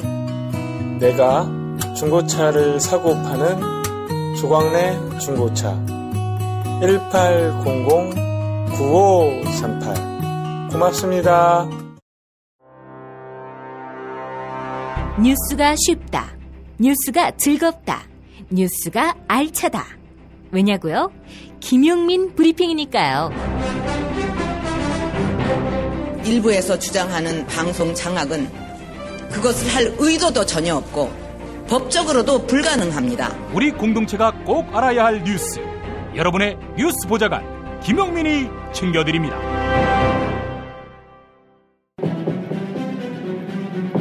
대한민국 대청소 안진걸 참여연대 사무처장 만나는 날이죠. 오늘은 직접 스튜디오로 모셨습니다. 안 처장님. 아, 예, 안녕하십니까. 유튜브로도 나가고 있나요? 그렇습니다. 그런지도 모르고 막 얼굴을 뜯고 있었네요. 죄송합니다. 아이, 창피해라. 예. 주권자 간다 티셔츠도 입고 왔거든요. 아이고, 그러시구나. 어, 시민단체들 요즘에 응. 그 유세장 쫓아다니면서 아~ 좀 좋은 정책 좀 해라. 그래요. 그래서 문재인 후보 유세장, 심상정 후보 유세장 환영을 받았는데 예. 안철수 후보 유세장에서는 경비원 선생님들이 좀 저희를 막 제재가지고 예. 화제가 됐었죠. 우리 저 안진걸 예. 주장님이 그때 그 촛불로 예, 촛불하고 어. 있는데 정변 아저씨들이 저를 보고 막 달려들더라고요. 그래서 아저 안철수 뭐 좋아하는데요. 이거 좋은 정책 제안하러 왔는데 그러세요? 막 그런 예. 신랑이하고 우리 예. 간사들 막 피켓을 뺐고 어. 유승민 후보 유세장에서도 환영해 줬어요. 어이고, 그런 일이 있었습니다. 그래서 좀 아쉽더라고요. 국방 예. 안보 분야만 빼놓고는 사실 참여연대가 주장하는 바하고 많이 맥이 다 있어요. 예 맞습니다. 이제 지금 구세아라 유승민이 유행어잖아요. 예, 예, 예. 힘내라 황영철 예. 뭐 이런 건데 정말 합리적인 보수가 우리 사회에 필요한데 예. 그런 식으로 또 짓밟힘을 지금 당하고 있잖아요. 홍준표와 그 참. 배신자들로부터. 예, 사실 뭐 저희랑은 인연이 없는 정치 세력들여 가지고 신경 안 쓰려고 했는데 그래도 한국 사회에서 좀 건강한 보수가 좀 음. 극단주의자나 극우 세력은 좀 없어지고 이게 필요한데 음. 어, 대단히 안타깝더라고요. 예. 예. 예. 지금 그 유승민 후보가 사퇴를 한다든지 이러면은 자멸하는 겁니다. 오히려 지금 입당이라든지 후원금이 음. 늘어나고 있잖아요. 그렇습니다. 실제 제 주변에서도 예. 뭐 문재인 후보나 심상 후보를 좋아하지만 음. 한국사가 정상화되기 위해서라도 유승민 그룹이 음. 살아남아야 된다 해서 응원해야겠다는 분들이 있더라고요. 네. 그러니까 좀 이렇게 포괄적으로 한국사를 바라봤을 때요. 음. 지금 자유당이나 조은진 그룹이나 홍준표 그룹은 음. 정말 극단주의 극우주의 세력이잖아요. 네. 이런 사람들은 사실 정치적 공간, 그러니까 사적으로 그런 생각 갖고 있는 거야. 우리가 어떻게 할 수가 없지만 음. 공적 공간, 음. 우리 국민의 세금을 통해서 운영되는 공간에서 추방하는 게 맞거든요. 예. 그런 생각들은. 예. 아니 그안처장님 어, 예. 우리 홍준표 후보의 TV 토론을 보면은 예. 아 저런 이야기가 다 있었나 싶은 것들이 적잖아요. 뭐 대표적으로 소양 댐프 하라 물을 가뒀다고 녹조가 생기는 게 아니다. 아, 예. 이런 희한한 주장도 펼치고요. 그러니까 거짓말이 난무하는데 뭐 예. 이러면 이렇게 자신 없느냐이나 거짓말할 때 다른 후보들이나 보통 사람들이 약간 주춤하잖아요. 그렇죠. 그러니까. 이분은 근데 철면피야, 철면피. 그러니까 정말 네. 그런가? 바로 포탈을 막 찾아보게 되고 예. 막 이렇게 됐는데 어제 토론에서도 반값 등록금과 관련해서 아주 엄청난 거짓말을 했습니다. 음. 그래서 바로 한겨레 신문 허재영 기자가 팩트 체크 기사를 잘 썼는데요. 제가 예. 거기 저도 이제 인터뷰를 했었는데 예. 그니까 갑자기 이제 문재인 후보가 반값 등록금 한다니까 이제 몰아붙이는 거잖아요. 음. 친환경 무상급식도 파탄 내고 반값 등록도 공개하는 과정에서 예. 진주의료원도 파탄내고 이제 이런 걸 계속 자기가 잘했다 우기는 과정에서 예. DJ 노무현 때 등록금을 다 자율화해주고 폭등시켜놓고 왜 이제 와서 그러냐. 아. 거기서 두 가지가 문제입니다. 예. 설령 그때 폭등이 됐다 해도 예. 지금이라도 치유하는 건 칭찬해줘야 되는 거죠. 그렇죠. 잘못했으니까 더 열심히 하는구나 이렇게 박수쳐줘야 되는 겁니다. 음. 근데 반값 등록금을 무슨 포퓰리즘이니 이렇게 공격하는 그런 태도가 음해하는 태도가 나쁘고요. 음. 그다음에 이제 더 근원적으로 팩트가 틀렸습니다. 음. 지금 우리나라 대학생들의 85% 가까이는 사립대학을 다니고 있고 음. 사립대학의 등록금이 가계에 부담을 주는 거거든요. 국공립 대 등록금 그리 비싸지 않잖아요. 2분의 1밖에 예, 안 예. 되니까. 예. 그럼 사립대 등록금 자료가 가장 큰 원흉인데 가계 교육비에 폭등시킨 그것은 바로 홍준표가 89년도 노태우 정부 때 사립대학 등록금을 자율화시켰습니다. 그때부터 폭등했습니다. 예. 그래서 YS 정부 때까지가 훨씬 많이 15에서 20%씩 막 폭등할 때입니다. 음. 그나마 DJ 노무현 정부 때는 5%에서 10% 정도. 음. 이건 제가 90년 초반에 대학을 다녔기 때문에 너무 잘 네. 알고 있는데요. 예. 예를 들면 90 뭐 2년도 3년 4년도만 해도 대학가마다 등록금 인상률 15% 20% 있습니다. YS 음. 정부 때. 예. 뭐 신자유주 세계야 막 이런 흐름까지 흐르면서. 음. 그러니까 홍준표 이렇게 말해왔어야 되는 거죠. 89년도에 내가 좋아하던 노태우와 김영삼이 자기가 이제 정치를 시작하던 음. 그때 등록금을 자율했다. 나도 반성을 한다. 음. 그러니까 반값 등록금 뭐든 필요하다 이렇게 기하는게 양심적인 거고 책임 있는 정치인 태도인데 음. 8 9년도 등록금 자율하는 걸 다 거짓으로 숨기고 DJ 노멘트 자율한 것처럼 거짓말 한 다음에 그리고 폭등도 DJ 노멘 때 많이 폭등한 게 아니라 Y정부 때 가장 많이 폭등했거든요. 그러면 자기가 그 정치 입문한 게 YC 정부 때잖아요. 그러면 그때에 대해서 자기가 못 막았다라고 미안하다고 한 다음에 음. 이야기를 해야 되는데 예. 역시 예. 그것도 거짓말한 겁니다. 그러니까 아. 대놓고 거짓말을 예. 입술에 침 하나 바르지 않고 한다는 거에서 음. 어 이건 뭐 저희가 특정 후배든 호불호를 떠나가지고 제가 지적을 안 할래 안 할 수 없다. 그래서 내일 이제 분노한 대학생 단체들, 네. 대학원생 단체들 반값 등록국 국민본부가 음. 긴급 기자회견 납니다. 네. 홍준표의 거짓말을 규탄한다. 예. 그 다음에 설령 어느 정부에서 뛰었던지 간에 예. 지금이야말로 반값 등록금을 할 때가 됐다. 이명박하고 박근혜는 그래서 하겠다 그런 거거든요. 도대체 몇 번 약속을 한 겁니까? 그러니까 이명박의 반값 등록 공약을 해서 인기를 얻은 거고 예. 박근혜도 경제민주화 복지국가를 약속하면서 반값 등록금을 제대로 하겠다고 약속을 한 거예요. 예. 대학교 앞마다 정말 그 빨갛게 제대로 된 반값 등록금을 실현하겠다 이렇게 현수막 걸었었거든요. 음. 그러면 홍준표는 이명박과 박근혜가 자기가 이어받은 세력이 음. 제대로 못했다 약속을 했고 미안하다 제가 열심히 하겠습니다 이렇게 하는 게 도리였던 거죠. 음. 그 도리마저도 저버린 거기 때문에 굉장히 문제가 많습니다. 그래서 내일 저희가 3시에 세종문화회관 계단 앞에서 긴급 규탄 기자회견과 팩트 체크를 국민들께 제공해드리려고 합니다. 아 예. 그제 사회 분야 TV 토론이 있었지 않습니까? 네. 또 우리 안진걸 처장님에게는 전문 분야고 또 이 후보들의 그 말하는 폼새나 사회 현안에 대한 철학, 문제인식, 이게 얼마나인지, 뭐, 단번에 감별이 되셨을 것 같아요. 그럼요. 예. 꼴등인 후보가 누굽니까? 홍준표 후보, 정준표 후보. 그러니까 예. 반값 등록금을 공격하고 4대강을 비호하고 예. 진주 의료원 폐쇄를 정변하고 어. 이 사람은 대통령 후보 자격뿐만 아니라 예. 정치인으로서의 자격이 고 음. 정치라는 게 국민의 눈물을 닦아주는 겁니다. 예. 국민의 세금을 제대로 쓰는 겁니다. 음. 그 과정에 개입하는 거잖아요. 음. 그러면 최소한의 경제민주화 복지 확대에 주력하고 음. 그 다음에 그렇게 힘들게 거둔 세금이 4대강 사업에 음. 허망하게 쓰여진 것에 대해서 반성해야죠. 예. 지가 개선한다는 박근혜 정부와 감사원에서도 심지어 박근혜 대통령 입으로도 4대강 사업에 많은 문제가 있었다고 여러 번 반복적으로 지적이 됐거든요. 예. 확인됐고 예. 그럼 문제를 인정한 다음에 그 다음에 어떻게 할 것인지 허심탄회 이야기해야 되는데 문제가 없다고 하니까 음. 계속 이런 시잖아요 친환경 무상급식을 왜 파탄내냐 고 지적했을 때 음. 자기는 파탄 을안 냈다. 교육청의 예산 전원이 감사를 안 받아서 그런 거다라는 식으로 계속 강변하는 거예요. 에이, 아, 근데 실제로 파탄을 냈던 게 맞고 예. 교육청이 감사를 거부한 게 아니라 교육청이 받은 예산에서 교육청이 이제 그것이 각 학교로 지급이 되잖아요. 예. 거기서 감사가 이루어지는 겁니다. 기본적으로. 예. 그러니까 줬으면 그만인 거예요. 음.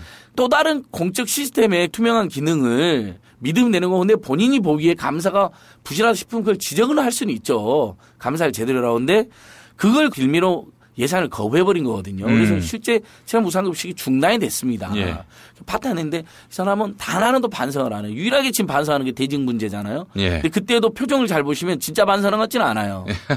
하도 공격받고 예. 아마 자유한국당 내에서도 그건 너무 민망하니까 미안한 책이라도 해라 그래서 한 것 같아요. 음. 진짜 미안하다고 생각하지 않잖아요. 돼지 발정 예, 그 책도 그래서 이런 거잖아요. 예. 사실 일반인이라면 대증문제에 대해서 그건 당시에도 범죄라는 걸 알고 죄책감을 느끼면서 하죠. 사실은 나쁜 짓을 했어도 근데 그 사람 이렇게 써놨잖아요. 검사 돼서 알았다잖아요. 그러면 그 명백한 나쁜 짓을 검사 되기 전에는 나쁜 짓이 아니라고 생각했다는 거거든요. 어. 그런 짓을 많이 하고 다닐 가능성이 매우 높습니다. 예, 예, 그 책의 예. 행간은 그렇습니다. 예. 검사 돼서 어떻게 그걸 아, 압니까? 그건 예. 초등학생도 그 짓은 나쁜 짓이라는 거 알죠. 예를 들면 가게 갔는데 지훈이 잠들고 있는데 뭐 주워 왔다. 이런 상상을 해보잖아요. 그거 다 하면서도 범죄라는거 알잖아요. 잘못이라는거 알고. 그렇죠. 뽀리도 범죄죠. 그러니까요. 뽀리 치는 거. 그러니까 그걸 모를 리가 없는데 얼마나 이 사람이 도덕적으로 무감각하고 음. 몰상식한가 알 수가 있겠습니다. 오, 뭐또 대구 공무원들 앞에서 자기의 그옛 기억을 회고하면서 시발년이란 말을 그냥 대놓고 했다는 거 아, 아닙니까? 아, 지금 그 아토 팩트로 나왔나요? 예, 그게 또 뉴스에 나왔습니다. 아, 시민단체들 아. 보고 도둑놈들이라고 하고 그 다음에 언론들 보고 지랄한다 그러고 저는 예. 전국의 언론 사나 언론 기자들이 뭐 하는지 모르겠어요. 그건 네. 정말 강력한 규탄. 더러 지랄이긴 예. 네. 합니다. 아니, 그러니까 언론은 지랄하는 게 예. 권력자나 힘센 사람한테 지랄하는 게 언론의 사명이거든요. 예, 예, 예, 자연스럽게 해야 되는 거잖아요. 예, 근데 그것을 폄훼하는 의미로 음. 비하하는 의미로 썼으니까 반박해야 되는 거고 그다음에 아까 이제 바른정당 이야기도 했는데 예, 예, 예. 그 13명의 배신자들 말도 안 되는 행동한 사람들 중에 박순자라는 의원이 있었어요. 아, 박순자 안산. 예. 예. 그 홍준표 같은 거 그랬잖아요.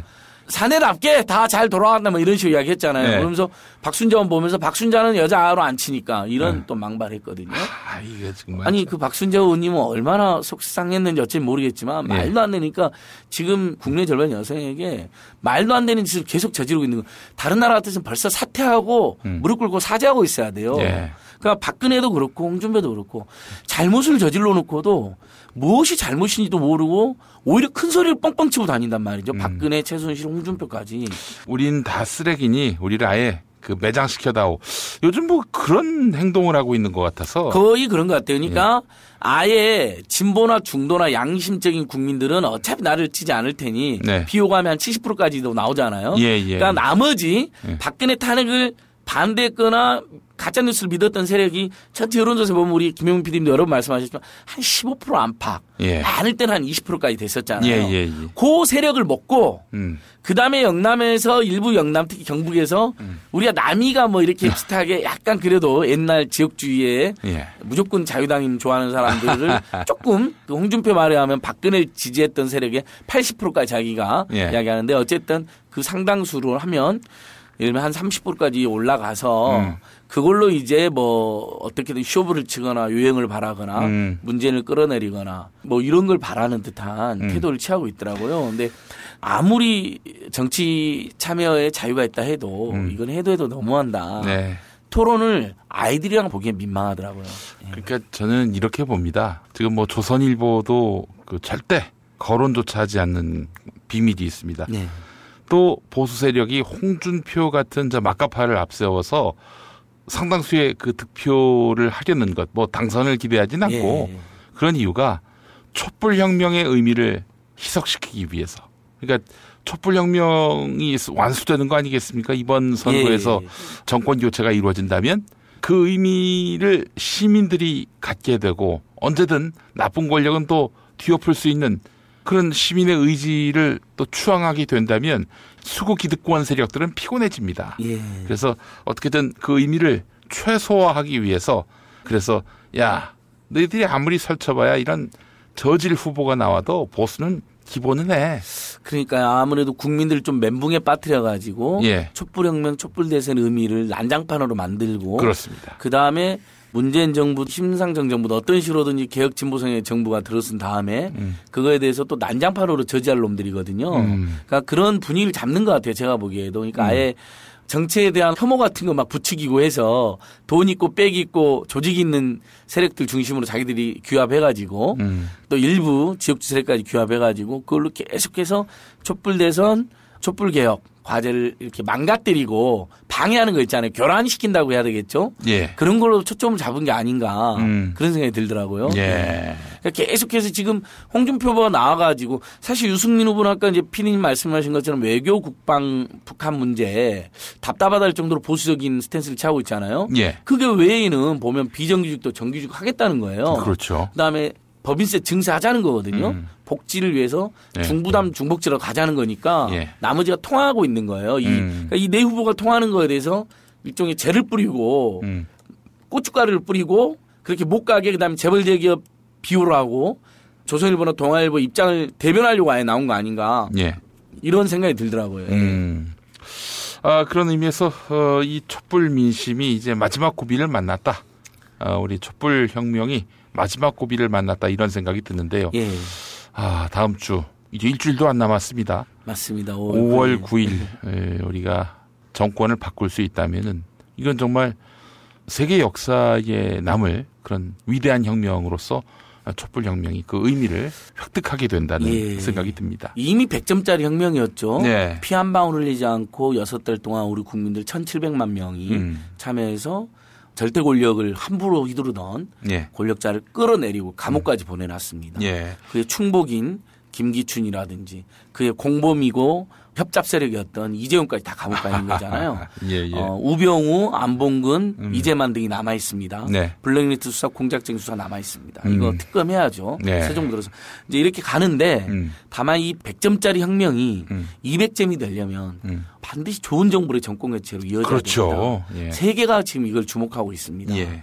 노벨 평화상을 줄 수도 있고 음. 시민 불복종상을 줄 수도 있고 음. 모든 애신들이 지금 한국의 대선 결과를 이제 지켜보고 있는데 그게 대선 결과에 대한 관심뿐만 아니라 세계 정세 동북아 정세의 중요성 때문만 아니라 음. 실제 촛불혁명이 음. 촛불 정부로도 이어지느냐를 지금 보고 있는 거예요. 예, 예. 그럼 정말 200점짜리 300점짜리 대규모 혁명이 되는 거거든요. 대단한. 음. 그래서 독일 공영방송, 뭐 프랑스 방송에서도 계속 연락이 옵니다. 아. 인터뷰도 하자. 예, 예, 예. 어떻게 정권 교체에 대해서는 어떻게 생각하냐. 예. 그다음에 이제 뭐 중국의 신화통신 같은 데서도 오. 사드 문제에 대해서는 어떻게 생각하냐도 예. 연락 오고 그러는데 예, 지금까지 이제 5월 9일까지 음. 촛불 대선 6일 남았는데 대대적인 투표해야 되고요. 음. 촛불 개혁과제가 6일 동안 최대한 부각되게 한 가지만 예. 여쭤보겠습니다. 네. TV 토론 마지막 사회복지 분야. 예. 네. 어, 가장 못한 후보로 홍준표 후보를 꼽으셨는데. 그렇죠. 이 사람 복지를 아예 반대해 버리니까. 예, 예, 예. 반대로 누구라고 얘기하진 마시고 아주 잘하는 후보가 있습니까? 그래도 뭐 전체적으로 복지와 관련해서는 음. 안철수 후보는 좀 전향적이긴 해요. 네. 복지나. 네. 근데 목숨 걸고 막 한다는 느낌이 좀 덜한 것 같고요. 음. 다만 이제 문재인 후보, 심상정 후보, 그다음에 유승민 후보 일부는 어쨌든 이 사람들 아동수당 같은 거, 음. 그 다음에 기초노령연금 인상, 예. 그 다음에 청년들 중에도 미취업 청년 상태에 있는 청년들에 대한 어떤 지원 같은 거 있잖아요. 예, 예. 취업 상태 에 있는 청년이야 뭐 그렇다 치더라도 예. 뭐 이런 건 확실히 할 것 같아요. 이 부분은 만철수 뭐 보도 비슷한 공약이 있어서 공통적으로 이게 지금 최저임금 만 원, 음. 그 다음에 비정규직을 정규직으로 하자, 음. 그 다음에 법인세 등 부자 등에 대해서 증세를 해서 세원을 마련하고 그걸로 아동수당, 청년 일부, 그다음에 기초노령연금 인상하자 요거에 대해서는 거의 일치가 되어 있습니다. 근데 반값 등록금은 심상정 문제에는 더 제대로 실현하자는데 안철수 의원 조금 반대 의견 내가지고 논란이 된 적이 있었습니다. 음. 대학생 단체들이 비판 성명도 낸 적이 있었고요. 뭐 이런 부분도 일부 남아 있고 심상정 후보 공약 중에 가장 제 눈에 띄는 공약이 있었죠. 예. 사회로 나가는 청년들 중에 스무 살때 부모로부터 상속이나 증여를 받는 분들 빼고 음. 나머지 상속이나 증여를 못 받는 분들에게 대다수 청년들에게 천만 원씩 주자. 음. 이건 뭐 전역으로부터도 엄청난 극찬을 받아가지고 화제가 되는 건데 예. 어, 이런 좀 획기적인 공약들도 있습니다. 그래서 음.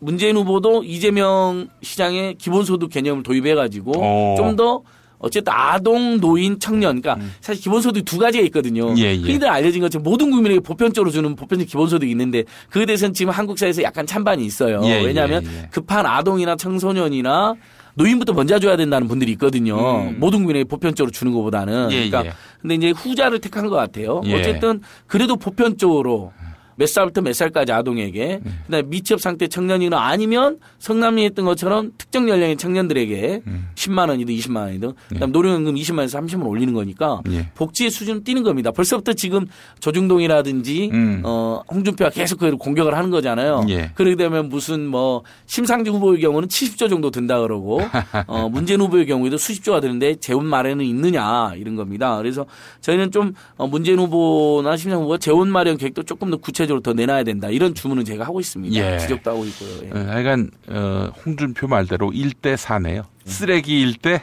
사람 후보 넷 이렇게. 그러니까요. 그래서 제가 이제 바라는 구도는 예. 문재인 심상정, 안철수, 유승민 네 명이 4강 구도가 돼서 음. 마지막까지 물론 촛불 정신에 좀 더 부합한 후보는 제가 방송에서 말하지 않아도 음. 지금 국민들 좀 좁혀져 있습니다. 예. 어느 순간부터 우리 모 후보가 촛불 집회 안 나갔다 음. 문제있다 이렇게 말하는 바람에 예. 어, 그 후보는 지금 촛불 국민들로부터 많이 이제 비판을 받고 있는 상황인 것 같습니다. 음, 알겠습니다. 아 이제 어떻게 촛불의 구심점이었던 퇴진 행동의 예. 진로 어떻게 좀 이제 뜻이 모아졌습니까? 예, 우리 촛불 국민들, 우리 브리핑 정치자들, 우리 국민 TV 조합원 시청자 여러분들 많이들 물어보십니다. 지금도 어, 4월 29일 날 23차 본국민 대회까지 갔더니 예. 23번 연속 나왔던 분들 여러 번 만났어요. 예, 예, 이분들이 이제 공통적으로 이야기하는 게 29일 날 대선 전 마지막 촛불 집회인 건 이해가 된다. 음. 왜냐하면 남은 기간 동안 계속 또 촛불 집회를 할 수는 없잖아요.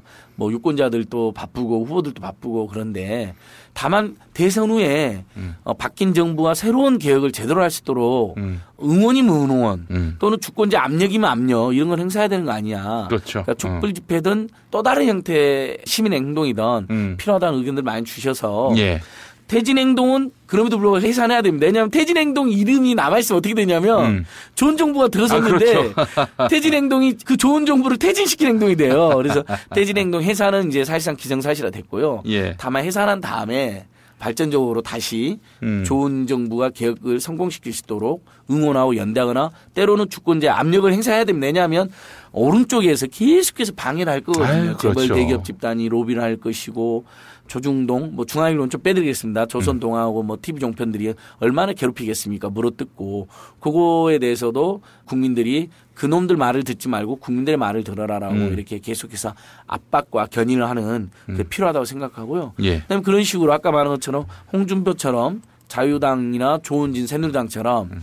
난장판을 만들어 가지고 볼썽사나 모습을 계속 연출시켜서 개혁의 동력을 빼는 음. 그러니까 그런 거 있잖아요. 아예 무슨 욕을 듣든지 간에 그냥 바지가리 잡고 늘어나가지고 음. 엉덩이를 마, 보이게 만들어갖고 그냥 그러면 이제 개혁 이 이슈가 되는 게 아니라 바지가랑이 잡고 막 물고 늘어지는 그 광경이랑 그러다가 이제 엉덩이가 보이면 네. 이제 그게 이제 막 놀라야 되잖아. 엉덩이가 보였네 말에 예, 예, 예. 이제 이런 식으로 지금 작전 짠 거거든요. 이사람이 예. 네. 지금 선거운동도 그렇게 하고 있고 음. 모든 교육과제를 비토놓고 있잖아요. 그렇죠. 그다음에 예. 토론 때도 계속 그렇게 물어보잖아요. 음. 그러면 성소수자 문제도 민감한 문제잖아요. 음. 사실 그 문제 피해가도 되는데 굳이 그걸 꺼내가지고 마치 색출해서 처벌해야 된다는 식으로 엄벌해야 된다는 식으로 분위기를 몰아가잖아요. 그러니까 음. 극우 국단주의의 의제를 가지고 막 선거판을 굉장히 어지럽게 만드는 거잖아요. 음. 이런 세력들을 어, 효과적으로 예방하고 폐퇴시키기 위한 범국민적인 대응이 꼭 필요하다고 생각합니다. 그러니까 음. 시민사회단체들과 촛불국민들이 촛불혁명 시즌2라면 새 정부의 개혁을 성공시키고 그걸 방해하려고 하는 난장판 세력들의 준동이라 하면 준동 장난 장난 그걸 막는 굉장히 중요한 역할을 해야 된다고 생각하고 네. 어, 문재인 후보는 심상정 후보도 분발했지만 더 분발할 필요가 있다. 음. 남은 기간 동안에도 더 좋은 정책을 더 국민들에게 많이 약속을 해야 됩니다. 음. 그렇게 약속한 게 새 정부 들어서 또 개혁의 동력으로 이어지는 것이거든요. 예, 그래서 예, 예. 그런 부분은 저희가 계속 남은 기간 동안에도 저희들도 호소드리고 당발 예정이 있습니다. 예. 2017 대선 주권자 행동 음, 이 단체도 지금 사실은 퇴진 행동과 예 퇴진 행동에 이제 정신을 계승해서 음. 각자 이제 대선 전술이 조금씩 다르잖아요. 예. 뭐 좋아하는 후보가 다를 수도 있고 선호하는 전술이 다를 수 있는데 예를 들면 뭐 노동계 일각에서는 심상정 후보나 김선동 후보를 아예 적극적으로 지지하신 분들도 있잖아요. 예. 한국노총은 문재인 후보하고 정책 개박을 했고 근데 음. 시민사회단체들은 보통 뭐 그렇게까지 노골적으로 지지를 할 수는 없습니다. 왜냐하면 회원들이나 간사들이 다 지지한 후보가 또 다르기도 하고 생각이 조금 다른 부분도 있고 그러니까 나쁜 놈이 누구냐 떨어뜨리자는 것은 합의가 되는데 누가 더 좋냐라는 것에 대해서는 조금씩 현실주의와 또 이상주의 간의 그런 갈등도 있습니다. 뭐 제가 청취자들께도 뭐 그런 점들은 제가 솔직히 말씀드릴 수 있을 것 같고요. 네. 다만 분명한 것은 좋은 정책을 많이 음. 약속하게 만드는 역할을 하는 건데 그래서 제가 2017 대선 주권쟁를 만들어서 음. 계속해서 시민들로부터 보트포 인증샷 다섯을 받았어요. 2017명이 넘게 있어요. 예, 3,000명, 예. 4,000명까지 갔습니다. 예, 예. 이걸 어저께 그저께 TV 토론으로 드러나는 문재인 후보님, 안철수 음. 후보님, 신영 후보님 전달했습니다. 그래서 어제 오늘 언론에도 많이 나왔어요. 시민들의 열망이 담긴 인증샷이거든요. 음. 수천 명이. 그것도 전달해 드렸고 50대 정책까지도 발표해서 전달해 드렸고 또 오마이뉴스가 친절하게 각 후보들의 입장도 정리를 했더라고요. 제일 많이 받아들인 후보가 심상정 후보, 2등이 음. 문재인 후보 이렇게 뭐 그런 언론 보도도 있었고 그래서 음. 계속 저희는 좋은 정책을 들이밀고 음. 후보들이 그걸 수용하게 만들고 음. 다수용한 박수를 보내고 예. 일부를 수용을 안 하면 또 이렇게 때로는 좀 따지기도 하고 음. 심사 역할이 그런 거 아니겠습니까? 그렇죠. 예. 네, 예. 그런 역할을 하고 있습니다. 예. 지난번 4월 29일 집회를 홍준표 후보가 못하게 아 굉장히 화제가 됐죠. 우리 도와줘 많이 도와줬습니다 이분이 느닷없이 4월 28일 날어 4월 29일 촛불 집회 금지 가처분을 내 가지고요. 예. 언론에 이제 파닥이 나가면서 그게 굉장히 화제가 됐습니다. 네. 그래서 네. 얼마나 촛불 집회나 촛불 국민이 무서우면 음. 자기 비판을 못 하게 하게 음. 제가를 물락 했는데 법원에서 가차없이 그냥 기각했습니다. 음. 그래서 음. 어 4월 29일 날 연휴가 이미 시작됐고 네. 모든 국민들이 사실 이제 지금 촛불 집회에 관심 있다 보면 자기들이 지지하는 후보나 대선 국면 자체 관심 있으시잖아요. 예. 그럼에도 불구하고 연인은 한 5만 명 정도의 오. 어. 시민들이 낮부터 예. 아주 재밌는 활발한 음. 캠페인 뭐 최저임금 1만 원 인상해라. 음. 최근에 핍박을 받았던 성소수자들의 인권을 보장해라. 네. 미세먼지 없는 세상을 만들자.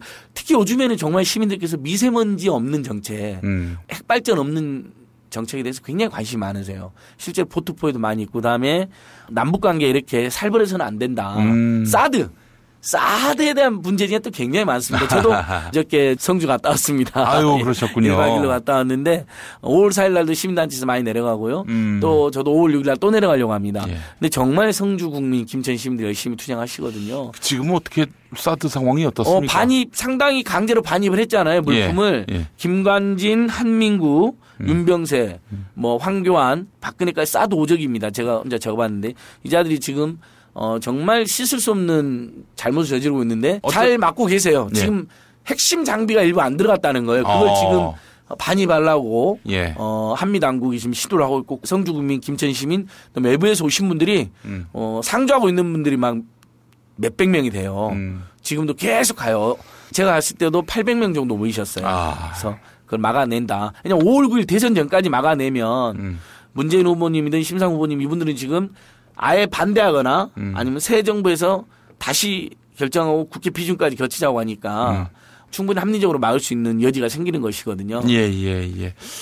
알겠습니다. 아, 우리 안진걸 처장님과 함께 우리 시민사회 지난 어, 가을부터 올 봄까지 그야말로 촛불의 한 중심에 서셨던 우리 안진걸 처장님을 사전에 섭외한 것이 얼마나 큰 행복인가 하는 생각도 아닙니다, 들고요. 아닙니다, 아닙니 예. 예, 하여간 우리 새로운 시대가 열리면 또 우리 안 처장님의 또 역할도 굉장히 커집니다.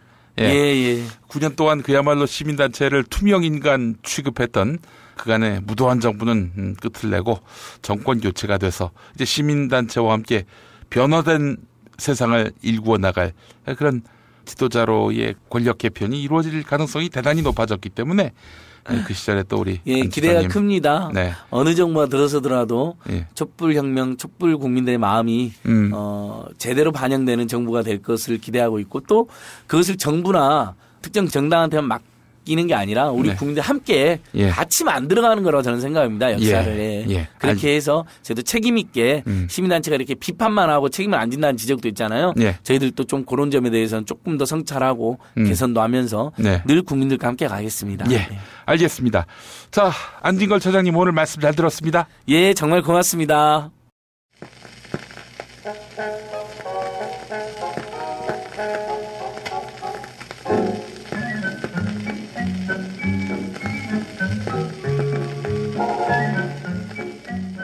김용민의 축구박스입니다. 신에게는 12척의 배밖에 없다. 이순신 장군의 심정을 피격한 후보가 있습니다. 누군지 아시죠? 유승민 바른정당 후보입니다. 이번 선거에 어떻게 될지 모르겠습니다만은 이 낡은 보수, 썩은 보수, 부패한 보수로는 보수는 정말 괴멸하고 소멸하고 말 것입니다. 이제는 정말 따뜻하고 깨끗하고 정의로운 그런 보수, 개혁 보수가 나타나야 됩니다. 저는 이순신 장군 생각합니다. 신에게는 12척의 배가 남았다. 저는 많은 국민들께서 지켜보고 계시고 국민들께서 손을 잡아주시면 제가 이 개혁 보수의 길을 계속 가보고 싶습니다. 네. 꼭좀 부탁드립니다. 유승민 후보가 얼마 전 청년들과 함께한 자리에서 노래 한 곡을 뽑았습니다. 바로 김광석의 이등병의 편지입니다. 여러모로 가사가 현재 자신의 심정을 대변합니다. 몇 단어 바꿔서 재구성해 보았습니다. 당 떠나와 창당하고 보수 혁신 말한 날 국민에게 큰절하고 대문 밖을 나설 때 가슴 속에 무언가 아쉬움이 남지만 풀 한 포기 당원 얼굴 모든 것이 새롭다. 이제 다시 시작이다. 젊은 날의 생이여. 어차피 지는 게 하지만 한국 보수 정치 사상 최초로 대의 명분을 지키는 길. 그 길에 꽃을 뿌립니다. 유승민의 이등병의 편지 들어보시죠. 집 돌아와 차 타고 훈련소로 가는 날 부모님께 근절하고 대문 밖을 나설 때 가슴 속에 무엇인가 아쉬움이 남지만 불안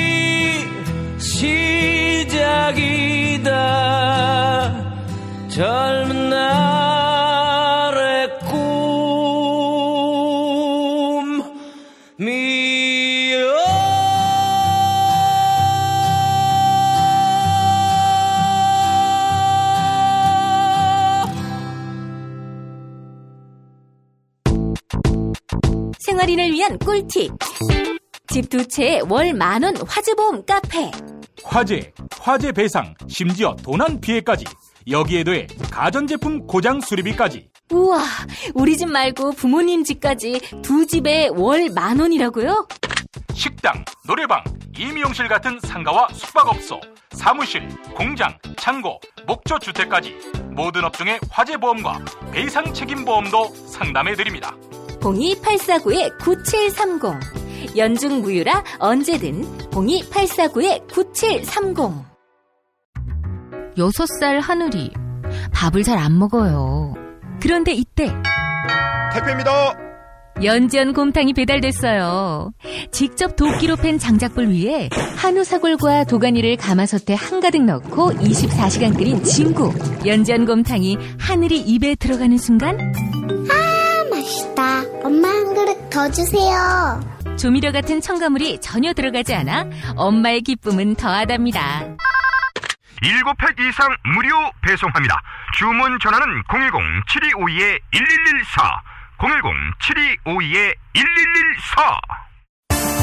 010-7252-1114 오늘을 읽는 책 문학평론가인 국민대학교 국문학과 정선태 교수와 함께합니다. 정선태 교수님과 함께하겠습니다. 교수님 네, 안녕하세요. 예. 아, 교수님 오늘 어떤 책 만나볼까요? 네, 오늘은 부처님 오신 날이잖아요. 녹음일 기준으로 그렇습니다. 예. 네, 그렇습니다. 그래서 부처님 얘기보다는 부처님의 먼 조상들의 이야기를 담은 음. 인도의 대서사시 마하바라타 얘기 좀 하겠습니다. 아, 예. 이 마하바라타는 뭐 세계적으로 아주 잘 알려진 저명한 대서사시입니다. 예. 어, 분량만 해도 10만 연, 그러니까 행이 아니고 연이니까 어, 얼마나 길겠습니까? 예. 이 대작은 한국에서는 지금 일부가 번역돼 있습니다. 예. 총 18권 중에 제가 알기로는 5권까지가 번역된 걸 알고 있는데 오. 제가 오늘 소개해드릴 책은 이 대작을 축약해서 핵심만을 보여주는 책입니다. 나라얀이라는 인도의 문학자 이자 인도 서사시 연구자가 추격한 마하바라타입니다. 예. 이 마하바라타는 바라타의 대서사시, 뭐 바라타의 이야기 이런 뜻으로 받아들이면 될 것 같습니다. 예, 예. 이 마하란 말은 인도에서 산스크리트어에서 큰 위대한 이런 뜻이잖아요. 음. 그리고 바라타는 그 인도의 전설적인 왕이라 그럽니다. 예. 그리고 인도라는 나라를 바라트라고 부르기도 한데요. 그러니까 위대한 바라트의 이야기 또는 위대한 인도의 대서사시 뭐 이 정도로 이해하시면 될 것 같습니다. 예. 그런데 이 책은 문학적으로도 뛰어날 뿐만 아니라 세계문학사에서 그리고 인도의 간디를 비롯해서 유명한 사상가들에게 아주 깊은 영향을 끼친 것으로 알려져 있습니다. 예. 이 이야기를 간단하게 요약하면은 쿠루족에 속하는 형제 두 부족 간의 18일간에 걸친 싸움을 다룬 서사신데요. 아. 근데 열여드의 동안의 싸움을 이렇게 길게 얘기하기도 쉽지 않겠죠. 네. 그런데 여기 종교적일 뿐만 아니고 철학적인 그리고 예. 제도적인 예. 인도인들의 생활 습속과 관련된 모든 게 다 들어있다 그럽니다. 예. 그래서 유명한 말을 하나 인용하자면 마바라타에 있는 것은 세상에 다 있고 마라바라타에 없는 것은 세상에도 없다라는 아주 유명한 얘기가 있다고 하네요. 예. 뭐 긴 얘기를 다 말씀드릴 수는 없고 이 책에서 제가 핵심적으로 참고하고자 하는 건 전쟁이냐 평화냐 뭐 이런 문제입니다. 아. 여기 인물들의 이름이 상당히 복잡한데요. 인물들의 이름은 간략하게 말씀드리고 중요한 구절들 한두 군데 보면 좋을 것 같습니다. 예. 요디스트라와 드라우파디라는 사람의 대화인데요. 예. 요디스트라는 이 분노는 항상 파괴적이니까 이를 피해야 한다고 얘기하고 예. 드라우파디라는 사람은 인간은 관용만으로는 세상이 안정이 될 수가 없다. 라는 이 대논쟁이 붙습니다. 예. 근데 우리가 뭐 환해할 때도 있고 뭐 새로운 그 세상을 위해서는 처리할 것도 있지만 또 어떤 맥락에서는 싸우지 말아야 할 때 싸우는 경우도 종종 있잖아요. 예, 맞습니다. 그 구절 한번 읽어보겠습니다. 예. 유디스트라를 하는 말입니다. 분노는 항상 파괴적이니까 발을 내야 할 때도 있다는 건 인정하지 않겠소. 오 아름다운 여인이여 사람은 모든 모욕을 용서해야 하오. 관대함에는 어떤 한계도 있을 수 없소. 관대함은 신이고 진리요. 세상은 오로지 신성한 연민을 통해서만 통합되어 있어. 분노는 세상의 모든 파괴의 근원이요. 나는 당신의 철학을 받아들일 수 없소. 모든 사람은 평화를 찬미하오. 이렇게 얘기를 합니다. 뭐 충분히 이해할 수가 있죠. 그런데 드라우파디의 얘기는 또 이렇습니다. 여기에 반론을 제기하는 셈이죠. 예. 인간은 단지 관용을 실천하는 것만으로는 이 세상에서 살아남을 수 없을 것 같은데요. 지나친 관용은 당신과 동생들에게 닥친 불행의 원인이에요. 당신은 유복할 때도 불행할 때도 똑같이 당신의 이상에 광적으로 집착해요. 당신은 3계에서 고결한 정신을 가진 사람으로 알려져 있어요. 제가 보기에 당신은 당신의 원칙을 버리기보다는 차라리 나와 동생들을 버릴 것 같아요 하면서 음. 신은 고결하고 덕망 높은 사람들이 참을 수 없을 만큼 박해당하는 것을 보지만 죄인들이 계속 번영과 행복을 누리게 해주죠 하면서 신에 대한 약간의 거부의 반응을 보입니다. 우리 살다 보면은 드라우파디 얘기를 듣다 보면은 대단히 고결하고 덕망이 높고 아름다운 사람들은 견딜 수 없는 박해 속에 고통받게 하고 또 죄를 짓고 세상을 어지럽게 만든 사람들은 행복과 번영을 주는 것처럼 보일 때가 있죠. 예. 그런 예를 들면서 드라우 파디가 대답하는 겁니다. 이 대논쟁은 이 서사직 전체에 걸쳐서 펼쳐지는데요. 음. 어, 정말 관용이냐, 그러니까 인내냐, 아니면은 싸울 때 싸우는 투쟁이냐 이런 문제가 아주 긴밀하게 관련돼 있는 것 같습니다. 아, 교수님, 이 이야기가 지금으로부터 몇 년 전 이야기라고요? 이 서사시의 배경은 기원전 3천년, 4천년이라고 합니다. 아, 지금으로부터 어, 한 5천년쯤 되죠. 음. 근데 이 이야기가 적층 문학이라고 해서요. 그 가객들 또 이야기꾼이 쭉 들었던 얘기들을 키우고 이야기 숲을 만든 거죠. 음. 그리고 완성된 건 기원전 4세기쯤이라고 해요. 예. 여러 가지 설이 있는데, 그러니까 부처님이 태어나기 한참 전이죠. 음. 아주 오래전에 인도의 고대사의 사상적 에센스들을 다 집약해 놓은 것 같습니다. 음. 또한 구절 볼까요? 앞에서 인도의 많은 사상가들이 깊은 영향을 받았고 또 세계 문학사에도 많은 영향을 끼치는데요. 예. 잘 아시다시피 우리 제임스 캐메런 감독 알죠? 예. 아바타 만든 영 음. 감독이죠. 예. 그 양반이 이 마하바라타를 영화로 만드는 게 필생의 꿈이라 그럽니다. 오. 그리고 이 많은 그 낭만주의자들이나 유럽의 문학자들, 예술가들에게도 깊은 영향을 끼치죠. 근데 제가 주목하는 것은 이른바 비폭력 사상의 원류인 것도 같습니다. 예. 그 인도 사상이나 이 비폭력 평화 사상 공부하신 분들은 바가바드 기타라는 책을 잘 아, 아실 겁니다. 예, 우리 예. 함석헌 선생이 번역하기도 하셨죠. 예. 요즘에 새로운 번역이 나오기도 하는데 이 바가바드 기타만 해도 책 한 권 분량인데요. 어, 무척 두껍죠. 그게 바로 마하바라타의 13권에 나오는 일부를 편집한 겁니다. 아. 그러니까 이 마하바라타 의 분량이 어느 정도인지 아시겠죠. 예, 예. 이 마하바라타의 13장에 나온 그 비폭력 문제 이게 이제 그 바가바드 기타 핵심 사상이기도 한데요. 음. 한번 읽어보겠습니다. 요디스트라가 동생들과 크리슈나와 함께 얘기하는 부분입니다. 예. 폭력의 물결은 결코 멈추지 않습니다. 승리는 원한을 낳습니다. 적개심은 잠복해 있지만 계속됩니다. 증오는 결코 증오로 억눌리지 않습니다. 자신의 용감성에 대한 자신감은 제 심장을 갉아먹는 불치병과도 같습니다. 우리는 우리의 권리와 힘을 확립하기 위해 대지를 피로 적실 각오가 되어 있습니다. 그것은 학자들이 말했듯이 적대적인 두개념이 만남과 다르지 않습니다. 처음에 개 두 마리가 만나면 꼬리를 흔들지만 한 녀석이 으르렁거리면 다른 녀석도 이빨을 드러내며 으르렁거립니다. 다음에는 서로 상대의 주위를 맴돌며 엄니를 드러내고 계속 으르렁거립니다. 이윽고 싸움이 시작되어 개들은 서로 물어뜯습니다. 더 강한 개가 상대를 죽이고 상대의 살을 찢어 발기고 그것을 먹습니다. 인간에게도 같은 행동 방식을 볼 수 있습니다. 우리는 카우라바들이 분별을 찾도록 다시 한번 애써봐야 합니다. 하면서 증오는 증오를 낳고 폭력은 폭력 난다는 얘기를 두 마리 개를 예로 들어서 설명하고 있습니다. 사실 이 비폭력 사상에 대해서는 뭐 논란이 있을 수 있지만 우리가 지난 늦가을부터 겨울 봄까지 쭉 봐왔듯이 저는 이 폭력적인 행동이나 폭력적인 행위들을 별로 좋아하지 않습니다. 음. 그래서 이 바가바드 기타의 예, 수록되어 있는 이 마하바라타 일부분을 아주 좋아하는데요. 예. 우리 김 PD는 어떠신지 모르겠습니다. 아마 생각이 같을 줄 아는데. 아, 그렇죠. 예, 우리 마하바라타에서 읽을 수 있는 핵심적인 사상이 바로 비폭력 평화 사상이 아닌가 싶습니다. 음. 그리고 앞에서 처음 말씀드릴 때 제가 마하바라타는 두 부족의 18회 동안의 싸움을 그린 거라 그랬잖아요. 예. 그래서 이, 이 한쪽의 승리로 끝납니다. 음. 근데 그 승리로 끝나고 난 다음에 그 승리자가 얘기하는 부분이 아주 깊은 인상을 남깁니다. 예.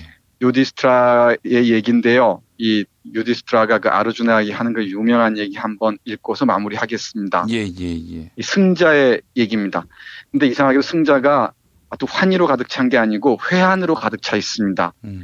하면서 이렇게 얘기합니다. 우리의 적은 공덕을 얻어 지금 천국에 있지만 우리는 사륙을 후회하는 이 참회의 지옥에서 살아야 한다.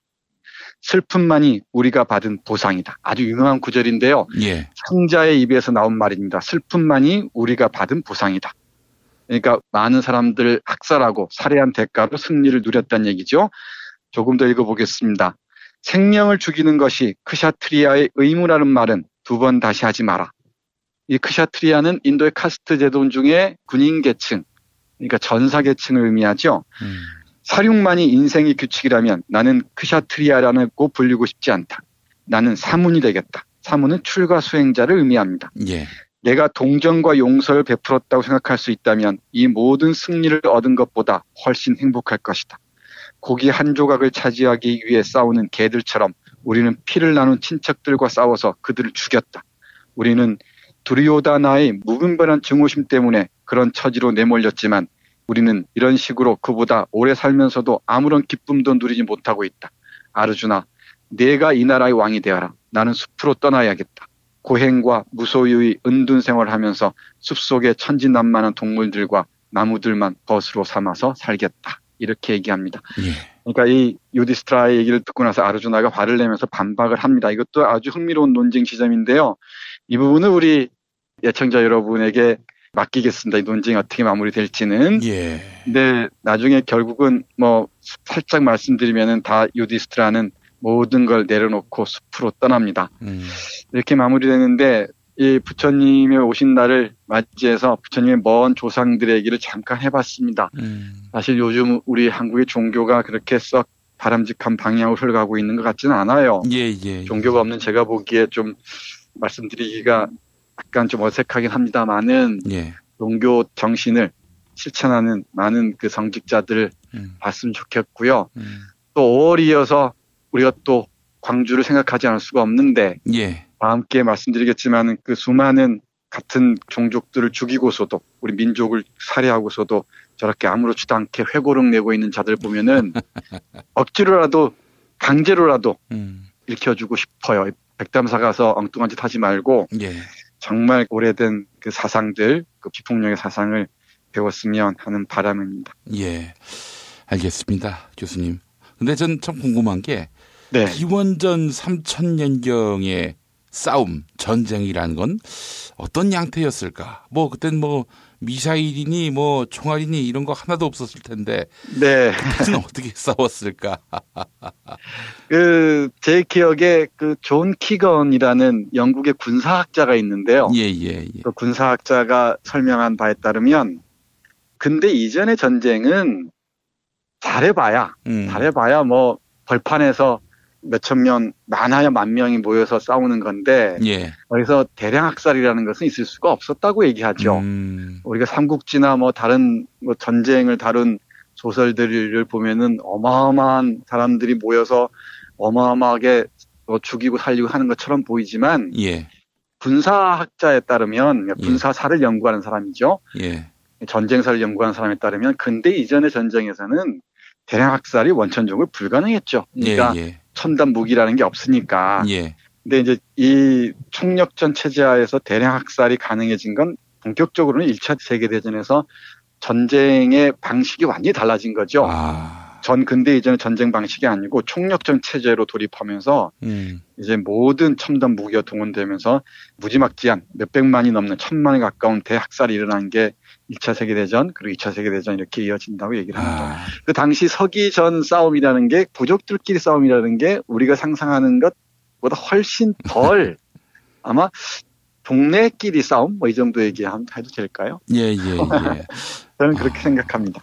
그 그랬을 시절에 그 네. 아우구스티누스가 이 정의로운 전쟁 이론을 만들어낸 거 아닙니까? 그러니까 어, 전쟁이 정말 대량 살육 이런 것들이 그다지 전제되지 않았을 시절 그 시절에 정의로운 전쟁 불가피한 전쟁은 있다 이렇게 이야기함으로써 기독교가 전쟁을 용인하게 되는 그런 계기를 만들었는데 아 근데 추후에 이제 대량 학살이 가능하고 또 그래서 수많은 이런 전란들이 또 이어지게 되고 무기가 고도화되고 그 첨단화되면서 말이죠.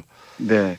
그러면서 이제 이 정의로운 전쟁 이론이 매우 우리에게 심각하게 위험하죠. 예, 예. 네. 예. 그렇습니다. 그러니까 근대 이전의 과거의 정의로운 전쟁을 얘기하는 사례들은 종종 있지만 근대에 이르러서는 뛰어난 사상가들은 다 전쟁에 반대하죠. 예. 그 폐해가 우리의 상상을 초월하리라는 것을 알기 때문입니다. 예. 뭐 아인슈타인을 굳이 예를 들지 않더라도 뭐 3차 세계대전이 가능성의 쌍만 보여도 인류는 석기 시대로 돌아갈 준비를 해야 한다고 얘기하잖아요. 예, 예, 예. 그러니까 그럴수록 이런 비폭력 평화 사상으로 싸워 나가는 게 우리에겐 더 더욱 각별하게 와닿는 것 같습니다. 예. 아 지금 이 국면에서 전쟁은 무엇이고 평화는 무엇이고 이런 철학을 가진 사람이 5월 9일에 대통령이 돼야 할 텐데. 네, 역시 그렇습니다. 뭐 다 그런 기대를 안고 있을 텐데요. 예. 뭐 이런 적대감을 조성하고 너 죽고 나 죽자는 식으로 싸움을 아무렇지도 않게 내뱉는 사람들은 음. 절대 새로운 시대, 또 음. 우리 시대에는 지도자가 돼서는 안 되죠. 예. 그러니까 무지몽매하거나 예. 아니면은 무모하거나 위험천만하거나 이런 사람일 수밖에 없죠. 예, 알겠습니다. 정선태 교수님 오늘 말씀 잘 들었습니다. 네, 복 많이 지으십시오. 고맙습니다. 예, 내일 뵙겠습니다. 김용민 브리핑과 함께하는 브리핑 대리운전. 1522-9687 1522-9687 수익금 일부는 김용민 브리핑 드라마 악인열전 제작비로 쓰입니다. 박근혜가 구속되면 일회 공짜 이용이 가능한 대리운전 브리핑 대리운전 브리핑 대리운전 번호 잊지 않으셨죠? 1522-9687 1522-9687 저는 오늘로 대통령직을 사퇴합니다. 이준호동 희망센터 이사 권영국 변호사입니다. 이준호동 희망센터는 동남아시아 저개발 국가의 이준노동자들과 함께하고 있습니다. 시골 오지 마을에 학교를 만들고 마을 주민들이 공동체를 이루어 운영하도록 돕습니다. 포털 검색창이나 페이스북에서 이준노동 희망센터를 검색하시어 후원회원이 되어주세요. 노동 존중 생산과 소비를 통한 사회 연대를 추구하는 문자당이 함께합니다. 김용민 브리핑과 함께하고 계십니다. 뉴스 듣기 능력 평가와 문안 토론 퀴즈 정답자 발표하겠습니다. 매일 일부 코너 뉴스 듣기 평가 당첨자께 도서 선물 보내드리고 있는데요. 당첨자 가운데 한 분에게 도서 출판 브레인스토어에서 협찬하는 도서 대선의 현대사를 보내드립니다.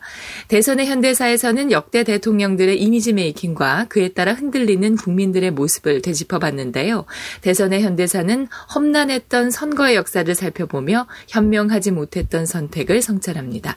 우리가 놓쳤던 대선의 순간들이 담겨 있는 대선의 현대사 애청자 여러분의 많은 사랑 바라겠습니다. 당첨자 가운데 다른 한 분에게는 도서 출판 메디치 미디어에서 협찬하는 도서 경제 알아야 바꾼다를 보내드립니다. 경제 알아야 바꾼다는 손혜원 의원과 하나증권 주진형 전 대표가 함께했던 SNS 방송 경제 알바의 핵심 내용이 담겨 있습니다. 주진형 전 대표는 국정농단 청문회에서 재벌은 조직폭력배와 똑같다. 이런 소신 발언을 했던 분이죠. 대기업과 똑같은 일을 하는데 임금 격차는 왜 생기는지, 국민연금은 돌려받을 수 있는지, 경제 알아야 바꾼다 해서 궁금증 해결할 수 있습니다. 경제 알아야 바꾼다. 애청자 여러분의 많은 관심 부탁드립니다. 토요일 정답자 가운데 한 분에게는 남양주에 위치한 독채 무인 펜션 머문 빌리지 이용권을 격주로 드립니다.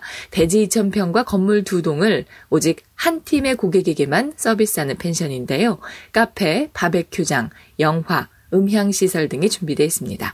포털 사이트에서 머문 빌리지를 검색해 주세요. 어제 뉴스키 평가는 해군 청해부대 20사진 4,400톤급 함정의 이름을 맞히는 거였죠. 정답은 대조영함인데요. 정답자 구름신발님, 과연 정부는 국민을 위해 일하고 있는지 의문입니다. 답답한 모든 일에 국민이 소리를 내야 한다는 생각이 듭니다. 결국 5월 9일 탄생하게 될 새로운 정부도 국민이 계속 잘 지켜보고 목소리를 내야 하는 것 같습니다. 정답자 사필사님. 바른정당에서 결국 탈당 러시가 발생했네요. 선거일이 얼마 남지 않았는데 점점 더 긴장됩니다. 저들이 또 무슨 폐악질을 할지 정신 바짝 차려야겠습니다. 이번에는 어제 무난 토론 퀴즈 당첨자입니다. 당첨자에게는 세상에서 가장 맛있는 김치, 이담채 김치를 보내드립니다. 어제 문안토론 퀴즈는 낙동강 등의 수질을 악화시킨 이명박 정부의 대표 개발 사업이 무엇인지 맞히는 거였죠. 홍준표가 잘했다고 평가하기도 했는데요. 정답은 4대강 사업입니다. 정답자 백지랭이님. 지금도 진행되고 있는 사드 배치는 도대체 이해가 되질 않아요. 김관진이 뭔데 이런 중차대한 일을 단독 결정할 수 있나요? 비선 실세는 아직도 건재하다는 건가요? 정말 지독한 수골, 하루속히 청산되길 바라고 바랍니다. 정답자 산조님, 경상남도 출신의 청자입니다. 부모님께 연락드리니 그 주변은 당연히 홍준표랍니다. 동양 출신 친구들도 그렇다고 하네요. 숨어있는 홍준표 표가 걱정입니다. 5월 9일 모두 힘내서 투표해주세요. 김용민 브리핑 이제 마칠 시간입니다. 오늘 닿는 말은 김한길 전 새정치민주연합 대표 그리고 대구가 지역구인 김부겸 더불어민주당 의원의 발언입니다. 한 사람은 호남 주민의 지역 감정을 자극하는 발언을 했고 다른 한 사람은 야권의 불모지인 영남을 품는 자신이 지지하는 후보의 이면을 소개했습니다. 두 사람 모두 화제의 주인공은 문재인 더불어민주당 대선 후보입니다.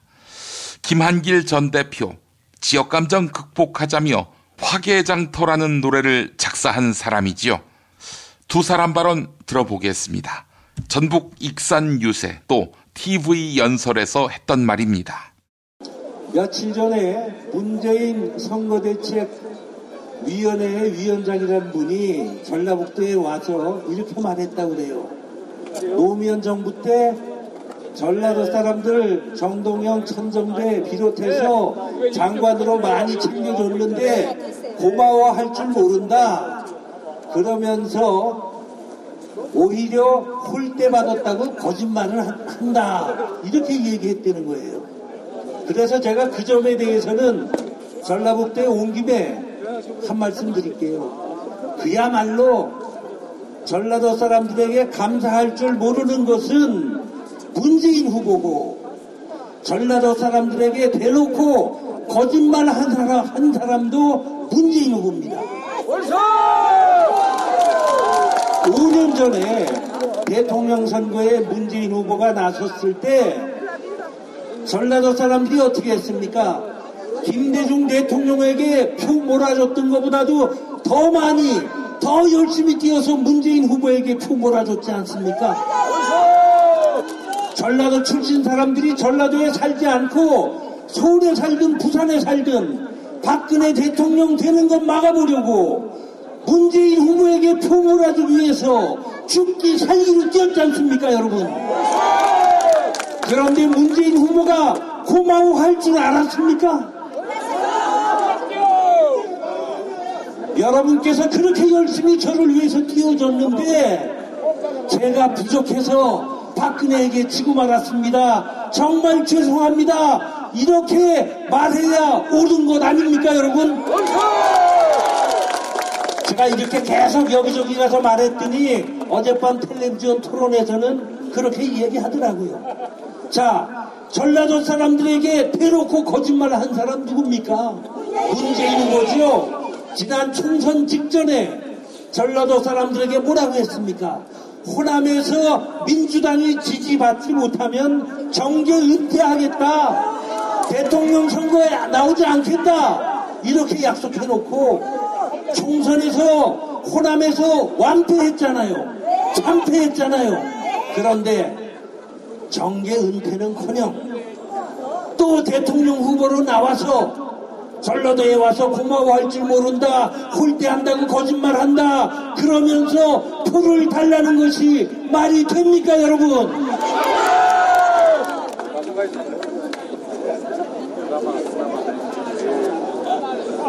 자 박근혜 패권 세력이 나라 망치고 청와대에서 쫓겨났는데 그 자리에 또 다른 패권 세력이 들어앉는 일 우리가 막아야 되지 않겠습니까? 그것을 해낼 수 있는 유일한 사람이 안철수입니다. 맞습니까? 선거 첫날 문재인 후보가 대구를 가장 먼저 찾아왔습니다. 첫 유세를 대구에서 시작했습니다. 역대 전국에서 민주당 표가 제일 안 나오던 곳이 대구 경북이었습니다. 그런데 그 척박한 곳을 가장 먼저 찾아봤습니다. 대통령 선거에서 대구를 첫 유세지로 한 것은 역대 야당 후보로서는 처음이라고 합니다. 그날 아침부터 비가 추적추적 내렸습니다. 대구의 민주당 당원이 다 모여봤자 얼마 안 됩니다. 거기다 비까지 오니까 얼마나 썰렁했겠습니까? 그날 문재인 후보는 이렇게 말했습니다. 저는 대구 대통령, 부산 대통령, 광주 대통령이 아니라 대한민국 국민의 대통령이 되고 싶습니다. 대구도 웃고, 부산도 웃고, 광주도 웃고, 그렇게 전국이 웃다 보면 국민 통합이 저절로 되지 않겠습니까? 대구 시민이 저를 그렇게 좀 만들어 주십시오. 봄비치고는 제법 굵었던 빗물이 저도 모르는 사이에 제 마음을 적셨습니다. 제가 35년 전 재야 운동을 하던 시절 먹고 살기 위해 복사 가게를 운영하던 경북대학교 북문 앞이었습니다. 저는 그날 문재인의 진심을 보았습니다. 내리 삼선을 하던 경기도 군포 지역구를 내놓고 대구로 내려가서 국회의원 선거 한 번, 시장 선거 한 번, 그렇게 두 번 떨어지고 겨우 당선된 저 김부겸. 지역주의에 맞서서 영혼함이 화합하는데 앞장서는 그런 정치를 한번 해보겠다고 대단치도 않지만은 그래도 정치 생명을 걸었던 저에게 지역주의를 넘어 국민 통합의 대통령이 되겠다는 문재인 후보의 모습이 얼마나 고마웠겠습니까? 제가 사랑하는 대우를 문재인 후보도 이만큼 생각하고 있구나 싶어서 좀 민망한 말씀이지만 제가 마음속으로 울컥했습니다. 자신에게 결코 우호적이지도 않고 제주율이 잘 나오지도 않는 직전 선거에서 결정적 패배를 안겼던 지역조차 그렇게 보없는 모습을 보면서 저는 문재인의 포용력을 보았습니다. 거의 어진 마음을 보았습니다. 대통령이 탄핵되는 바람에 치러지는 선거인지라 그 과정에서 갈등이 첨예할 수밖에 없습니다. 그러나 끝나고 나면 모든 국민을 하나로 통합하는 그래서 상처와 분열을 치유하는 대통령이 나와야 합니다. 다음 대통령은 어진 사람, 포용력을 갖춘 사람이어야 합니다. 저는 감히 단언합니다. 문재인이 바로 그 답이다. 이렇게 확신합니다. 김용민 브리핑과 함께한 시간 어떠셨어요? 다음 시간에도 보다 바르고 알차며 즐거운 정보로 여러분을 찾아가겠습니다. 팟캐스트 포털 팟빵에서 다운로드하기, 구독하기, 별점 주기, 댓글 달기로 응원해주세요.